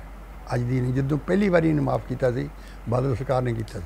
ਐਂਡ ਆਈ ਅਪੋਜ਼ਡ ਇਟ ਇੱਥੋਂ ਤੱਕ ਮੈਂ ਜ- ਅਮਰਿੰਦਰ ਸਿੰਘ ਦੀ ਗਵਰਨਮੈਂਟ ਦੇ ਵਿੱਚ ਐਜ਼ ਅ ਕੈਬਨਿਟ ਮਿਨਿਸਟਰ ਦੇ ਰੈਂਕ ਦੇ ਵਿੱਚ ਮੈਂ ਕੰਮ ਕੀਤਾ। ਇਹ ਜੇ- ਜਿਹੜਾ ਪਲੈਨਿੰਗ ਕਮਿਸ਼ਨ ਐਵਰੀ ਟਾਈਮ ਜਾਂਦੇ ਸੀ, ਉਹ ਕਹਿੰਦੇ ਸਾਡਾ ਧਰਮ ਬਣਦਾ, ਤੁਹਾਨੂੰ ਕਹੀਏ ਵੀ ਇਦਾਂ ਬਿਜਲੀ ਫੀ ਨਾ ਦਿਓ। ਤੇ ਸਾਡੇ ਮੈਂਬਰ ਉਹ ਕਹਿੰਦਾ ਵੀ ਜੋ ਡਾਕਟਰ ਜੋਲ ਨੇ ਅੱਜ ਤੱਕ ਕਿਹਾ, ਉਦੋਂ ਜ਼ਿਆਦਾ ਕੀ ਕਿਹਾ ਜਾ ਸਕਦਾ ਇਹਨਾਂ ਨੂੰ? ਦੇਖੋ, ਮੇਰਾ ਇਹਨਾਂ ਨੂੰ ਇੱਥੇ ਬੈਠੇ ਨੂੰ ਇਹ, ਇਹਨੂੰ ਵੀ ਮੈਂ ਸਮਝਾਇਆ, ਮੈਂ ਕੇਜਰੀਵਾਲ ਨੂੰ ਵੀ ਸਮਝਾਇਆ। ਮੇਰੀ ਅਪਰੋਚ ਕੀ ਹੈ ਹੁਣ ਜਿਹੜੀ ਅਸੀਂ ਬਿਜਲੀ ਦਿੰਨੇ ਆ ਨਾ ਸਬਸਿਡੀ ਪਾਣੀ ਦਾ ਥੱਲੇ ਆਉਣਾ ਤਾਂ ਇੱਕ ਇੱਕ ਆ- ਇੱਕ ਐਸਪੈਕਟ ਹੈ, ਬਹੁਤ ਇੰਪੋਰਟੈਂਟ ਐਸਪੈਕਟ ਹੈ। ਲੇਕਿਨ ਜਿਹੜੀ ਹੁਣ ਅਸੀਂ ਬਿਜਲੀ ਦਿੰਨੇ ਆ ਫਾਰਮਰ ਦੇ ਪੱਲੇ ਨਹੀਂ ਪੈਂਦੀ ਇਹ ਸਬਸਿਡੀ ਮੈਂ ਇਹਨੂੰ ਬਹੁਤ ਸਮਝਾਇਆ। ਮੈਂ ਕਿ ਜਿੰਨੀ ਤੁਸੀਂ ਸਬਸਿਡੀ ਦਿੰਦੇ ਹੋ, ਜਦ ਸਾਡੀ ਜਿਹੜੀ 22 ਮਿਲੀਅਨ ਟਨ ਫੂਡ ਗੇਨ ਹੈ, ਉਹ ਸੈਂਟਰਲ ਗਵਰਨਮੈਂਟ ਖਰੀਦੀ ਆ ਮਿਨੀਮਮ ਸਪੋਰਟ ਪ੍ਰਾਈਸ ਤੇ। ਔਰ ਮਿਨੀਮਮ ਸਪੋਰਟ ਕਿਉਂਕਿ ਮੈਂ ਖੁਦ ਚੇਅਰਮੈਨ ਰਿਹਾ ਆਪਣੇ ਦਾ ਕਮਿਸ਼ਨ ਦਾ। ਅਸੀਂ ਜਦ ਕਾਊਂਟ ਕਰਦੇ ਹਾਂ, ਜੋ ਫਾਰਮਰ ਦੀ ਕਾਸਟ ਆਉਂਦੀ ਹੈ, ਅਸੀਂ ਉਹ ਗਿਣਦੇ ਹਾਂ। ਇਹਦਾ ਮਤਲਬ ਜਿਹੜੀ ਬਿਜਲੀ ਫ੍ਰੀ ਜਾਂਦੀ ਆ, ਉਹਦੀ ਜ਼ੀਰੋ ਕਾਸਟ ਲੱਗ ਜਾਂਦੀ ਹੈ ਕਿ ਫਾਰਮਰ ਨੂੰ ਪਾਣੀ ਦੇ ਉੱਤੇ ਕੋਈ ਕਾਸਟ ਨਹੀਂ ਹੈ ਕਿ ਗਵਰਨਮੈਂਟ ਪੇ ਚੁੱਕੀ ਆ, ਕਰੀ ਜਾ ਰਹੀ ਆ। ਉਸ, ਉਸੇ ਨਾਲ ਉਹਦੀ ਪ੍ਰਾਈਸ ਜਿਹੜੀ ਹੈ ਡਾਊਨ ਆ ਜਾਂਦੀ ਹੈ ਐਵਰੇਜ ਪ੍ਰਾਈਸ ਜਦ ਅਸੀਂ ਕੱਢਦੇ ਆ, ਜਿੰਨਾ ਕਿ ਵੀ ਐਵਰੇਜ ਕਾਸਟ ਹੈ ਉਹਦਾ ਪ੍ਰਾਈਸ ਡਾਊਨ ਆ ਜਾਂਦੀ ਹੈ ਉਨੀ ਉਹਨੂੰ ਪ੍ਰਾਈਸ ਜਿਹੜੇ ਐਮ ਐਸ ਪੀ ਜਿਹੜੀ ਆ, ਜਿਹੜੀ ਉਹ ਡਾਊਨ ਹੋ ਜਾਂਦੀ ਹੈ ਜਦ ਉਹਦੀ ਐਮ ਐਸ ਪੀ ਡਾਊਨ ਹੋ ਗਈ, ਜਿਹੜੀ ਉਹਦੀ ਇਸ਼ੂ ਪ੍ਰਾਈਸ ਉਹ ਡਾਊਨ ਹੋ ਗਈ। ਇਹਦਾ ਮਤਲਬ ਅਸਲੀ ਬੈਨੀਫਿਟ ਫਾਰਮਰ ਦੇ ਨਾਂ ਤੇ ਇਹ ਜਿਹੜਾ ਕੰਜ਼ਿਊਮਰ ਨੂੰ ਚਲਾ ਗਿਆ, ਜਿਹੜੇ ਕਿ 22 ਮਿਲੀਅਨ ਟਨ ਦਾ ਕੰਜ਼ਿਊਮਰ ਪੰਜਾਬ ਤੋਂ ਬਾਹਰ ਬੈਠਾ। ਔਰ ਮੈਂ ਇਹ ਮੈਂ ਹਜ਼ਾਰ ਵਾਰੀ ਇਹਨਾਂ ਨੂੰ ਸਮਝਾ ਚੁੱਕਾ। ਲੇਕਿਨ ਸਮਝਦੇ ਹੋਏ ਵੀ ਨਹੀਂ ਸਮਝਦੇ ਮੈਨੂੰ ਕਹਿੰਦਾ, ਤੁਸੀਂ ਫਾਰਮਰ ਵੀ ਜਾਣ ਜਾਂਦੇ ਆ। ਉਹ ਮੈਂ 10-10 ਹਜ਼ਾਰ ਫਾਰਮਰ ਦੇ ਸਾਹਮਣੇ ਉਹਨਾਂ ਨੂੰ ਸਮਝਾਇਆ ਕਿ ਤੁਹਾਡੇ ਪੱਲੇ ਨਹੀਂ ਪੈਂਦੀ। ਫਾਰਮਰ ਨੇ ਕਦੇ ਵੀ ਫ੍ਰੀ ਬਿਜਲੀ ਨਹੀਂ ਸੀ ਮੰਗੀ। ਫਾਰਮਰ ਇਹ ਕਹਿੰਦਾ ਸੀ, ਸਾਨੂੰ ਰੈਗੂਲਰ ਬਿਜਲੀ ਦਿਓ ਕੁਆਲਿਟੀ ਬਿਜਲੀ ਦਿਓ। ਮੇਰੀ ਰਿਪੋਰਟ ਦੇ ਵਿੱਚ, ਪਹਿਲੀ ਜਿਹੜੀ 1984 ਵਿੱਚ ਰਿਪੋਰਟ ਦਿੱਤੀ ਬਿਜਲੀ ਦੇ ਉੱਤੇ। ਉਹ ਰਿਪੋਰਟ ਸੈਂਟਰ ਨੇ ਉਹਨੂੰ ਉਹਨੂੰ ਬੰਦ ਕਰ ਲਿਆ। ਗਵਰਨਮੈਂਟ ਨੇ ਆਪਣੇ ਫਾਰਮਰ ਨੇ ਐਜੀਟੇਸ਼ਨ ਕਰਕੇ ਉਹ ਰਿਪੋਰਟ ਰਿਲੀਜ਼ ਕਰਾਈ ਸੀ। ਉਸ ਰਿਪੋਰਟ 'ਚ ਮੇਰੀ ਰਿਕਮੈਂਡੇਸ਼ਨ ਇਹ ਸੀ ਕਿ ਫਾਰਮਰ ਨੂੰ ਜਿਹੜੀ ਸਬਸਿਡੀ ਦੇਣੀ ਆ, ਉਹ ਵਰਕਿੰਗ ਕੈਪੀਟਲ ਤੇ ਜਿਹੜੀ ਆ ਉਹਦਾ ਵਰਕਿੰਗ ਕਾਸਟ ਆ, ਉਹ ਤੇ ਦਿਓ, ਜਿਹੜਾ ਸਾਡਾ ਵਰਕ ਲੱਗੀ ਆ। ਔਰ ਜਿਹੜੀ ਕੈਪੀਟਲ ਕਾਸਟ ਆ, ਉਹ ਤੇ ਸਬਸਿਡੀ ਦੇ ਦਿਓ ਤੇ ਵਰਕਿੰਗ ਕਾਸਟ ਚਾਰਜ ਕਰ ਲਓ। ਇਹ ਫਾਰਮਰ ਨੇ ਹੈਪੀਲੀ ਉਹਨੂੰ ਐਕਸੈਪਟ ਕੀਤਾ ਸੀ ਉਸ ਉਸ ਰਿਪੋਰਟ ਨੂੰ। ਲੇਕਿਨ ਇਹਨਾਂ ਨੇ ਲਾਲਚ ਬੁਰਕੀਆਂ ਦੇ ਦੇ ਕੇ ਉਹਨਾਂ ਦਾ ਉਹਨਾਂ ਦਾ ਜਿਹੜਾ ਸੋਚਣੀ ਬੱਕਰੀ ਬੱਕਰੀ ਬੱਕਰੀ ਕਰ ਦਿੱਤੀ ਹੈ ਮੈਂ ਇਹਨੂੰ ਕਹਿੰਦਾ ਤੁਸੀਂ ਸਬਸਿਡੀ ਫਾਰਮਰ ਨੂੰ ਚਾਹੀਦੀ ਆ, ਉਹ ਜ਼ਰੂਰ ਚਾਹੀਦੀ ਆ, ਪਰ ਇਹ ਨਾਲ ਬੈਟਰ ਤਰੀਕਾ ਹੈਗਾ। ਉਹ ਮੈਂ ਸਮਝਾਇਆ ਇਹਨਾਂ ਨੂੰ, ਇਹ ਨਹੀਂ ਕਿ ਸਮਝੇ ਨਹੀਂ। ਮੈਂ ਕਿਹਾ ਤੁਸੀਂ ਇਹ ਮੈਨੂੰ ਦੱਸੋ ਕਿੰਨੀ ਬਿਜਲੀ ਕਿੰਨਾ ਕਿੰਨਾ ਦੇਣਾ ਆਪਣਾ ਇਹਨੂੰ ਤੁਸੀਂ ਸਬਸਿਡੀ ਦੇਣੀ ਹੈ ਤੁਸੀਂ 5000 ਦੇਣੀ ਹੈ 6000 ਦੇਣੀ ਹੈ 20000 ਦੇਣੀ ਹੈ 40000 ਦੇਣੀ ਹੈ 2000 ਦੇਣੀ ਹੈ ਜਿੰਨੀ ਤੁਹਾਡੇ ਬਜਟ ਤੇ ਉਹਨੇ ਵੀ ਇਨ ਫਾਰਮਰ ਨੂੰ ਸਬਸਿਡੀ ਦੇਣੀ ਹੈ ਉਹ ਡਿਸਾਈਡ ਕਰ ਲਓ। ਮੈਂ ਕਿਹਾ ਉਹਨੂੰ ਕਲਟੀਵੇਟਡ ਏਕੜ ਤੇ ਡਿਵਾਈਡ ਕਰ ਲਓ। ਜਿਹਨੇ ਕਲਟੀਵੇਟਡ ਏਕੜ ਹੈ, ਉਹ ਫਾਰਮਰ ਦੇ ਅਕਾਊਂਟ ਵਿੱਚ ਦਾ ਏਕੜ ਦੇ ਹਿਸਾਬ ਨਾਲ ਪਾ ਦਿਓ, ਸਮਝੇ ਨਾ? ਇਹ ਪੈਸਾ ਇਹਦੇ ਨਾਲ ਹੋਗਾ ਫਿਰ ਉਸ ਨੂੰ ਕਹੋ ਪਾਣੀ ਬਿਜਲੀ ਦੇ ਪੈਸੇ ਦੇ। ਸਬਸਿਡੀ ਤੋਂ ਪੱਲੇ ਪੈ ਗਈ। ਹੁਣ ਉਹ ਬਿਜਲੀ ਦੇ ਪੈਸੇ ਦਊਗਾ, ਜਦ ਉਹਦੇ ਨਾਲ ਉਹਦੀ ਉਹਦੀ ਜਿਹੜੀ ਪ੍ਰਾਈਸ ਹੈ, ਜਿਹੜੀ ਕਾਸਟ ਅਕਾਊਂਟ ਹੋਣੀ, ਉਹ- ਹਾਈ ਹੋ ਗਈ, ਕਿਉਂਕਿ ਉਹਨੂੰ ਖੁਦ ਪੇ ਕੀਤੀ ਹੈ। ਹਾਲਾਂਕਿ ਗਵਰਨਮੈਂਟ ਨੇ ਪੇ ਕੀਤੀ ਹੈ, ਲੇਕਿਨ ਇਹਦੇ ਵਿੱਚ ਸਬਸਿਡੀ ਉਹਦੇ ਪੱਲੇ ਪੈ ਗਈ ਔਰ ਉਹਦੀ cost cost of production high ਹੋ ਗਈ, ਗਿਣੀ ਗਈ। ਉਹਨੇ ਉਹਦੀ ਐਮਐਸਪੀ ਜ਼ਿਆਦਾ ਮਿਲ ਗਈ। ਉਹਨੂੰ ਦੋ ਵਾਰ ਤੋਂ ਫਾਇਦਾ ਹੋ ਗਿਆ। ਇੱਕ ਉਹਨੂੰ ਐਮਐਸਪੀ ਵੀ ਜ਼ਿਆਦਾ ਮਿਲ ਗਈ, ਇੱਕ ਉਹਨੂੰ ਇੱਕ ਉਹਨੂੰ ਸਬਸਿਡੀ ਡਾਇਰੈਕਟ ਮਿਲ ਗਈ। ਇਹਦੀ ਮੈਂ ਕਿਹਾ, ਕੀ ਮੈਂ ਅਰਬੀ ਬੋਲਦਾ, ਹੈ? ਤੇ ਦੂਜੀ ਗੱਲ ਇਹ ਜੇ ਇਦੋਂ ਬਾਅਦ ਫਿਰ ਇਹ ਹੋਏਗਾ ਕਿ ਜਿਹਨਾਂ ਬੰਦਿਆਂ ਕੋਲ ਬਿਜਲੀ ਹੈ ਨਹੀਂ, ਉਹ ਵੀ- ਉਹ ਤਾਂ, ਉਹ ਸਭ ਤੋਂ ਹਾਲਤ ਬੁਰੀ ਹਾਲਤ ਉਹਨਾਂ ਦੀ ਆ, ਜਿਹੜੇ ਬਰਾਨੀ ਪ੍ਰੋ ਕਰਦੇ ਆ। ਉਹਨਾਂ ਨੂੰ ਵੀ ਫਾਇਦਾ ਹੋ ਜਾਊਗਾ। ਛੋਟੇ ਫਾਰਮਰ ਨੂੰ ਫਾਇਦਾ ਹੋ ਜਾਊ। ਤੁਸੀਂ ਟਾਰਗੇਟ ਕਰਨੀ ਹੈ, ਜਿਵੇਂ 10 ਦੇ ਏਕੜ ਤੱਕ ਦੇਣੀ ਹੈ 15 ਏਕੜ ਦਾ ਨਹੀਂ ਉਹ ਟਾਰਗੇਟ ਵੀ ਕਰ ਸਕਦੇ ਹੋ। ਇਹਦੇ ਫਾਇਦੇ ਹੀ ਫਾਇਦੇ ਆ। ਲੇਕਿਨ ਇਸ ਪਾਸੇ ਨੂੰ ਸੋਚਦਾ ਹੀ ਕੋਈ ਨਹੀਂ। ਸਬਸਿਡੀ ਹਰ ਫਾਰਮਰ ਨੂੰ ਚਾਹੀਦੀ ਹੁੰਦੀ ਹੈ। ਕਿਸੇ ਫਾਰਮ ਸੈਕਟਰ ਦੇ ਵਿੱਚ ਕੋਈ ਫ- ਕਿਸੇ ਕੰਟਰੀ ਦਾ ਲੈ ਲਓ। ਸਭ ਤੋਂ ਬਗੈਰ ਨਹੀਂ ਬਚਦਾ। ਸਵਾਲ ਤਾਂ ਵੀ ਸਬਸਿਡੀ ਦਿੰਨੇ ਕੀ ਆ, ਉਹ ਕਿੱਦਾਂ ਦਿੰਨੇ ਆ? ਉਹ ਇਹ ਇਹ ਇਹ ਢੰਗ ਨੂੰ ਬਦਲਣ ਨੂੰ, ਸੋਚਣ ਨੂੰ ਸਵਾਲ ਹੀ ਨਹੀਂ। ਮੈਂ ਕਿ, ਇਹ ਮੈਂ ਗਵਰਨਮੈਂਟ ਚ ਹੁੰਦਿਆਂ ਹੋਇਆਂ ਵੀ ਔਰ ਜ਼ੋਰ ਲਾਉਂਦਾ ਰਿਹਾ। ਲੇਕਿਨ ਕਿਸੇ ਬੰਦੇ ਨੇ, ਕਿਸੇ ਵੀ ਚੀਫ ਮਿਨਿਸਟਰ ਨੇ, ਕਿਸੇ ਵੀ ਕੌਂਸਲ ਮਿਨਿਸਟਰ ਨੇ ਬੈਠ ਕੇ ਡਿਸਕਸ ਕਰਕੇ ਇਸ ਨੂੰ ਇਸ ਨੂੰ ਦੇਖਿਆ। ਉਸ ਉਹਨਾਂ ਨੂੰ ਇੰਟੈਂਸ਼ਨ ਹੀ ਉਧਰ ਨੂੰ ਉਹੀ ਹਾਲ ਹੋ ਰਿਹਾ। ਪੰਜਾਬ ਦੇ ਦਰਿਆਈ ਪਾਣੀ ਦੀ ਗੱਲ ਹੋਵੇ ਜਾਂ ਫਿਰ ਪਣ ਬਿਜਲੀ ਪ੍ਰੋਜੈਕਟ ਨੇ ਜੋ ਪੰਜਾਬ ਵਿੱਚ ਉਹਨਾਂ ਦੀ ਗੱਲ ਹੋਵੇ, ਜੋ ਦਰਿਆਵਾਂ ਤੇ ਲੱਗੇ ਨੇ ਜਾਂ ਦਰਿਆਈ ਪਾਣੀ ਜੋ ਨਹਿਰਾਂ ਤੇ ਲੱਗੇ ਨੇ, ਜੇ ਇਹਨਾਂ ਦਾ ਪ੍ਰਬੰਧ ਪੰਜਾਬ ਕੋਲ ਆਉਂਦਾ ਆ, ਤਾਂ ਕੀ ਪੰਜਾਬ ਦੀ ਜਿਹੜੀ ਆਰਥਿਕਤਾ ਆ ਉਸ ਨੂੰ ਇੱਕ ਵੱਡਾ ਹੁਲਾਰਾ ਮਿਲ ਸਕਦਾ ਆ? ਨਹੀਂ ਨਹੀਂ, ਦੇਖੋ, ਇਹ ਹੈਗਾ ਇਹ ਹੈਗਾ ਪੋਲੀਟੀਕਲ ਕੁਐਸਚਨ ਇੱਕ ਇਹਦੇ ਹੱਥ 'ਚ ਕੰਟਰੋਲ ਹੋਵੇ, ਪੰਜਾਬ ਤੋਂ ਬਹੁਤ ਦੇਰ ਦਾ ਟਰਾਈ ਕਰ ਰਿਹਾ ਇਸ ਨੂੰ ਲੇਕਿਨ ਕੰਟਰੋਲ ਵੀ ਜਿਹੜਾ ਆ ਕੋਈ ਵੀ ਕਿਸਰ ਤੇ ਬੈਠਾ ਹੋਵੇ, ਜਿਹਨੇ ਪਾਣੀ ਦੀ ਡਿਸਟ੍ਰੀਬਿਊਸ਼ਨ ਡਿਸਾਈਡ ਹੋਈ ਉਹ ਉਹ ਤਾਂ ਦੇਣੀ ਪੈਣੀ ਹੈ ਹੈ ਨਾ? ਸੋ ਇਹ ਇੰਨਾ ਕੁ ਫ਼ਰਕ ਪੈ ਜਾਂਦਾ ਕਿ ਜਿਹੜਾ ਜੇ ਪੰਜਾਬ ਦਾ ਕੋਈ ਬੰਦਾ ਬੈਠਾ ਇੱਥੇ ਜਾਂ ਜਾਂ ਜਿਹੜਾ, ਉਹਨੂੰ ਇਹ ਪਤਾ ਹੁੰਦਾ ਕਿ ਕਦ ਪਾਣੀ ਜ਼ਿਆਦਾ ਰਿਲੀਜ਼ ਦੇਣਾ ਕਦ ਪਾਣੀ ਥੋੜਾ ਦੇਣਾ ਉਹ, ਉਹ- ਆਸਪੈਕਟ ਮੈਨੇਜਮੈਂਟ ਆਸਪੈਕਟ ਦੇ ਵਿੱਚ ਥੋੜਾ ਅਸਰ ਹੋ ਸਕਦਾ। ਜੇਕਰ ਅਗਰ ਤੁਸੀਂ ਕਹੋਗੇ ਉਹ ਜੋ ਕਿਸੇ ਦਾ, ਉਹ ਉਹ ਆਪਣੀ ਪਾਵਰ ਦੇ ਨਾਲ ਹਿੱਸਾ ਕੱਢ ਦੇਵੇ ਕਿਸੇ ਕਿਸੇ ਸਟੇਟ ਦਾ, ਉਹ ਨਹੀਂ ਹੋ ਸਕਦਾ। ਸਵਾਲ ਤਾਂ ਹੈ ਕਿ ਇਹ ਇੱਕ ਪੋਲੀਟੀਕਲ ਡਿਸੀਜਨ ਡਿਸੀਜਨ ਹੋਇਆ ਆ ਪੰਜਾਬ ਦਾ ਸਾਰਾ ਜ਼ੋਰ ਲੱਗਾ ਆ ਕਿ ਰਿਪੇਰੀਅਨ ਸਟੇਟ ਹੋਣ ਕਰਕੇ ਸਾਡਾ ਸਾਰਾ ਪਾਣੀ ਸਾਡਾ ਆ। ਹੁਣ ਦੋ ਤਿੰਨ ਸਵਾਲ ਪੈਦਾ ਹੁੰਦੇ ਨੇ ਕਿ ਕੀ ਪੰਜਾਬ ਜਮਨਾ ਦਾ ਰਿਪੇਰੀਅਨ ਨਹੀਂ? ਪੁਰਾਣਾ ਪੰਜਾਬ ਅਸੀਂ ਲੈ ਲਈਏ ਜੇ ਜੇ ਹਰਿਆਣਾ ਸਟੇਟ ਇਹ ਜਿਹੜੀ ਹੈ ਇਹਦਾ ਰਿਪੇਰੀਅਨ ਮੰਨਦੇ ਹਾਂ ਅਸੀਂ ਨਾਲ ਨੂੰ ਕਰਕੇ, ਤੇ ਕੀ ਪੰਜਾਬ ਦਾ ਪਿਛਲੇ ਸਿਸਟਮ ਜਮਨਾ ਦਾ ਨਹੀਂ ਸੀਗਾ? ਅਸਲੀ ਤਾਂ ਇਹ ਸੀ ਜਦ ਇਹਨਾਂ ਦਾ ਬਟਵਾਰਾ ਹੋਇਆ ਪਾਣੀ ਦਾ, ਉਸ ਵੇਲੇ ਦਰਿਆਵਾਂ ਦਾ ਪਾਣੀ ਜਿੰਨਾ ਕੁ ਹਾਰਵੈਸਟ ਕੀਤਾ ਹੋਇਆ ਸੀ। ਉਹ ਪਾਣੀ ਔਰ ਜਿਹੜਾ ਜਮਨਾ ਦਾ ਪਾਣੀ ਹਾਰਵੈਸਟ ਹੋਇਆ ਸੀ, ਉਹਨੂੰ ਉਹਨੂੰ ਵੰਡਦੇ ਜਿਹੜਾ ਤੋਂ ਬਾਅਦ ਇਨਵੈਸਟਮੈਂਟ ਕਰਕੇ ਡਰਾਂ 'ਚੋਂ ਪਾਣੀ ਆਉਣਾ, ਉਹ ਉਹ ਡਿਫਰੈਂਟ ਇਸ਼ੂ ਦੋ ਡਿਫਰੈਂਟ ਲੈਵਲ ਸੀਗੇ।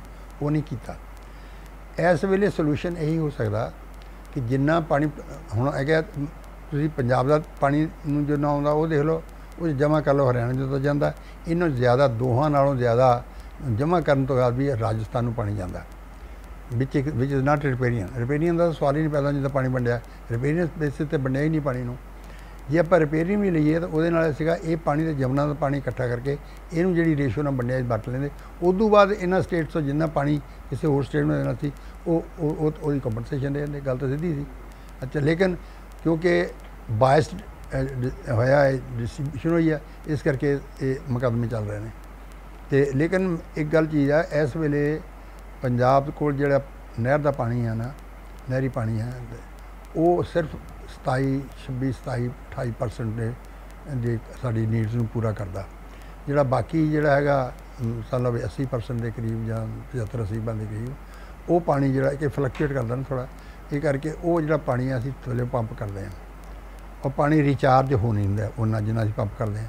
ਸੋ ਸਾਡਾ ਜਿਹੜਾ ਪਾਣੀ ਦਾ ਲੈਵਲ ਹੈ ਉਹ ਡਾਊਨ ਥੱਲੇ ਤੁਰਿਆ ਜਾ ਰਿਹਾ। ਸੋ ਸਾਡਾ ਜਿਹੜਾ ਵਾਟਰ ਬੈਲੈਂਸ ਹੈ ਉਹ ਖਰਾਬ ਹੋ ਗਿਆ ਟੋਟਲ ਸਟੇਟ ਦਾ। ਸੋ ਇਹ ਪ੍ਰੋਬਲਮ ਸਭ ਤੋਂ ਵੱਡੀ ਇੱਕ ਹੋਰ ਹੈ ਕਿ ਇਹ ਜਿਹੜਾ ਇਹ ਜਿਹੜਾ ਹੋ ਰਿਹਾ ਹੈ ਸੈਂਟਰਲ ਪੰਜਾਬ ਤੋਂ ਹੋ ਰਿਹਾ। ਲੇਕਿਨ ਜਿਹੜਾ ਸਾਊਥ ਵੈਸਟਰਨ ਪੰਜਾਬ ਦੇ ਵਿੱਚ ਜਿੱਥੇ ਖਾਰਾ ਪਾਣੀ ਹੈ ਹੈ, ਉਹ ਪਾਣੀ ਉੱਪਰ ਨੂੰ ਆਉਂਦਾ। ਸੋ ਇਹ ਤੇ ਇਹਦੀ ਪੋਸੀਬਲ ਹੋ ਸਕਦੀ ਹੈ ਕਿ ਇਹ ਜਾਣੀ, ਮੈਂ ਟੈਕਨੀਕਲੀ ਜਿਹੜੀ ਗੱਲ ਕਰਦਾ ਉਹਦੀ ਇਹ ਆ ਕਿ ਇੱਕ ਟਾਈਮ ਆ ਸਕਦਾ ਅਗਰ ਕੰਟੀਨਿਊ ਰਹੀਏ। ਇਹ ਪਾਸਾ ਖਾਲੀ ਹੋ ਗਿਆ ਉਧਰਲੇ ਪਾਸੇ ਭਰਿਆ ਪਾਣੀ। ਇਹ ਬੈਕ ਥਰਸਟ ਹੋ ਸਕਦੀ ਹੈ ਨਮਕੀਨ ਪਾਣੀ ਦੀ। ਜਾਂ ਥੋੜਾ ਬਹੁਤਾ ਪਾਣੀ ਉਹ ਵੀ ਖਰਾਬ ਹੋ ਜਾਏਗਾ। ਯਾਨੀ Punjab is on the way ਕਿ ਡਿਜ਼ਾਸਟਰ ਦੇ ਵਿੱਚ ਖੜਾ ਖੜਾ something needs to be done for this ਰਾਜਨੀਤਿਕ ਸਵਾਲ ਦੀ ਗੱਲ ਕਰਾਂ ਤਾਂ ਜਿਵੇਂ ਪੰਜਾਬ ਦੇ ਜਿਹੜੇ ਰਾਜਨੀਤਿਕ ਨੁਮਾਇੰਦੇ ਨੇ ਕਿ ਕਿਉਂਕਿ ਪੰਜਾਬ ਦੇ ਵਿੱਚ ਬਿਜਲੀ ਮਹਿੰਗੀ ਆ, ਕਿਉਂਕਿ ਕੋਲੇ ਤੋਂ ਬਿਜਲੀ ਜ਼ਿਆਦਾ ਪੈਦਾ ਕੀਤੀ ਜਾਂਦੀ ਆ ਤੇ ਇਹ ਜਿਹੜੇ ਪੰਜਾਬ ਦੇ ਰਾਖੇ ਹੋਣ ਦਾ ਦਾਵਾ ਵੀ ਕਰਦੇ ਨੇ ਰਾਜਨੀਤਿਕ ਨੁਮਾਇੰਦੇ, ਕੀ ਇਹ ਕੇਂਦਰ ਸਰਕਾਰ ਤੇ ਦਬਾਅ ਪਾ ਕੇ ਇਹਨਾਂ ਵਸੀਲਿਆਂ ਤੇ ਜਿਨ੍ਹਾਂ ਰਾਹੀਂ ਜਿਹੜੀ ਘੱਟ ਸਸਤੀ ਬਿਜਲੀ ਪੈਦਾ ਕੀਤੀ ਜਾ ਸਕੇ ਜੇ ਇਹਨਾਂ ਵਸੀਲਿਆਂ ਤੇ ਹੱਕ ਹਾਸਲ ਕਰਦੇ ਨੇ ਦਬਾਅ ਪਾ ਕੇ ਕੇਂਦਰ ਸਰਕਾਰ ਤੇ ਤਾਂ ਕੀ ਪੰਜਾਬ ਦੀ ਤਰੱਕੀ ਦਾ ਰਾਹ ਖੁੱਲ ਸਕਦਾ ਆ ਸੈਂਟਰ ਦਵਾ ਕਿੱਦਾਂ ਪਾਉਣਗੇ ਸੈਂਟਰ ਦੇ ਮਤਲਬ ਸਵਾਲ ਤਾਂ ਹੈ ਕਿ ਪੰਜਾਬ ਗਵਰਨਮੈਂਟ ਦੇ ਥਰੂ ਦਵਾ ਪੈ ਸਕਦਾ ਅਗੇਂਸਟ ਦਾ ਗਵਰਨਮੈਂਟ ਦੇ ਨਹੀਂ ਜਾ ਕੇ ਪੈ ਸਕਦਾ ਲੋਕਾਂ ਦਾ ਸਵਾਲ ਨਹੀਂ ਹੈ ਇਹਦੇ ਵਿੱਚ ਸਵਾਲ ਤਾਂ ਸਿਸਟਮ ਦਾ ਆ ਇਟਸ ਅ ਫੈਡਰਲ ਕੰਟਰੀ ਹੈ ਸਾਡਾ ਫੈਡਰਲ ਸਿਸਟਮ ਹੈ ਕੁਝ ਸਟੇਟਸ ਦੇ ਰਾਈਟਸ ਨੇ ਕੁਝ ਸੈਂਟਰ ਦੇ ਰਾਈਟਸ ਨੇ ਲੇਕਿਨ ਹੌਲੀ ਹੌਲੀ ਸੈਂਟਰ ਦੇ ਜਿਹੜੇ ਰਾਈਟ ਸਟੇਟ ਦੇ ਰਾਈਟਸ ਜਿਹੜੇ ਉਹ ਸੈਂਟਰ ਉਹ ਡਿਜ਼ਰਵ ਕਰੀ ਜਾ ਰਿਹਾ ਸੈਂਟਰਲਾਈਜ਼ ਕਰੀ ਜਾ ਰਿਹਾ। ਸੋ ਇਹ ਇਹ ਜਿਹੜੀ ਜਿੱਦਾਂ ਮੈਂ ਤੁਹਾਨੂੰ ਦੱਸਿਆ ਕਿ ਪੰਜਾਬ ਇੱਕ ਕਿਸਮ ਦਾ ਨਾ ਹੈਂਗ ਐਂਡ ਲੂਜ਼ ਇਹਦੇ ਬਾਅਦ ਇਹਨੂੰ ਕੋਈ ਫੈਸਿਲਿਟੀ ਕਿਸੇ ਵੱਲੋਂ ਨਹੀਂ ਆ ਰਹੀ। ਸੋ ਇਹਦੇ ਖੈਰ ਤਰੀਕੇ ਕੁਝ ਹੈਗੇ ਆ, ਐਸੀ ਗੱਲ ਨਹੀਂ। ਜਿੱਦਾਂ ਮੈਂ ਤੁਹਾਨੂੰ ਦੱਸਿਆ ਵੀ ਆ, ਇਹ ਗੱਲ ਝੋਨੇ ਨੂੰ ਖਤਮ ਕਰੋ। ਇਹ ਸਭ ਤੋਂ ਜ਼ਰੂਰੀ ਚੀਜ਼ ਹੈ, ਝੋਨੇ ਨੂੰ ਖਤਮ ਕਰਨਾ। ਉਹਦੇ ਨਾਲ ਅਲਟਰਨੇਟ ਕ੍ਰੌਪ ਜਿਹੜੀ ਤੁਹਾਨੂੰ ਚਾਹੀਦੀ ਪਾਣੀ ਦੀ ਜ਼ਰੂਰਤ ਘੱਟ ਹੋਵੇ। ਫਿਰ ਤੁਸੀਂ ਅਗਲੇ ਤੇ ਜਿੱਦਾਂ ਮੈਂ ਤੁਹਾਨੂੰ ਦੱਸਿਆ ਵੀ ਇਸ ਤਰ੍ਹਾਂ ਸਬਸਿਡੀ ਦਿਓ। ਜਾਂ ਫਾਰਮਰ ਕੋਲੋਂ ਪੈਸਾ ਖਰਚੇਗਾ ਨਾ, ਤੇ ਉਹਨੂੰ ਪਤਾ ਵੀ ਸਵਿਚ ਸਵਿਚ ਆਨ ਕੀਤੀ, ਮੇਰਾ ਪੈਸਾ ਲੱਗਣਾ। ਜੇ ਉਹਨੂੰ 100 ਦੀ ਸਬਸਿਡੀ ਮਿਲੀ ਹੈ ਨਾ, ਤੇ ਉਹ ਬੰਦਾ 70 80 50 ਦੀ 60 ਦੀ ਯੂਜ਼ ਕਰਨ ਦੀ ਕੋਸ਼ਿਸ਼ ਕਰੇਗਾ। ਹੁਣ ਪ੍ਰੋਬਲਮ ਇਹ ਹੈ ਕਿਉਂਕਿ ਉਹ ਤੇ ਖਰਚ ਕੋਈ ਨਹੀਂ। ਕੀ ਕਰਦਾ ਉਹ ਕਿ ਮੈਂ ਤਾਂ ਆ ਜੂਨ ਦੇ ਮਹੀਨੇ 'ਚ ਇੱਕ ਜੱਟ ਦੇ ਦੋ ਖੇਤ ਪਾਣੀ ਨਾਲ ਭਰੇ ਹੋਏ ਦੇਖੇ, ਮਈ ਦੇ ਜੂਨ ਮਹੀਨੇ 'ਚ। ਮੈਂ ਕਿਹਾ ਵੀ ਇਹ ਤੂੰ ਕਾਹਦੇ ਭਰੇ ਹੋਏ? ਇਹਦਾ ਜ਼ਮੀਨ ਠੰਡੀ ਕਰਦਾ। ਹੁਣ ਜਦ ਤੁਹਾਡੇ ਕੋਲ ਕੋਈ ਚੀਜ਼ ਫ੍ਰੀ ਹੈ ਮਿਸਯੂਜ਼ ਹੋ ਰਹੀ ਹੈ ਓਵਰ ਯੂਜ਼ ਹੋ ਰਹੀ ਹੈ, ਉਹ ਤੇ ਰੈਸ਼ਨੈਲਿਟੀ ਨਹੀਂ ਹੋ ਰਹੀ। ਰੈਸ਼ਨ ਅਸੀਂ ਡਿਵਰਸੀਫਿਕੇਸ਼ਨ ਦੀਆਂ ਦੋ ਰਿਪੋਰਟਾਂ ਮੈਂ ਦੇ ਚੁੱਕਾ ਇੱਕ 1985 86 ਦਿੱਤੀ ਹੈ, ਇੱਕ ਕਾਂਗਰਸ ਦੇ ਜ਼ਮਾਨੇ 202 ਦਿੱਤੀ ਹੈ।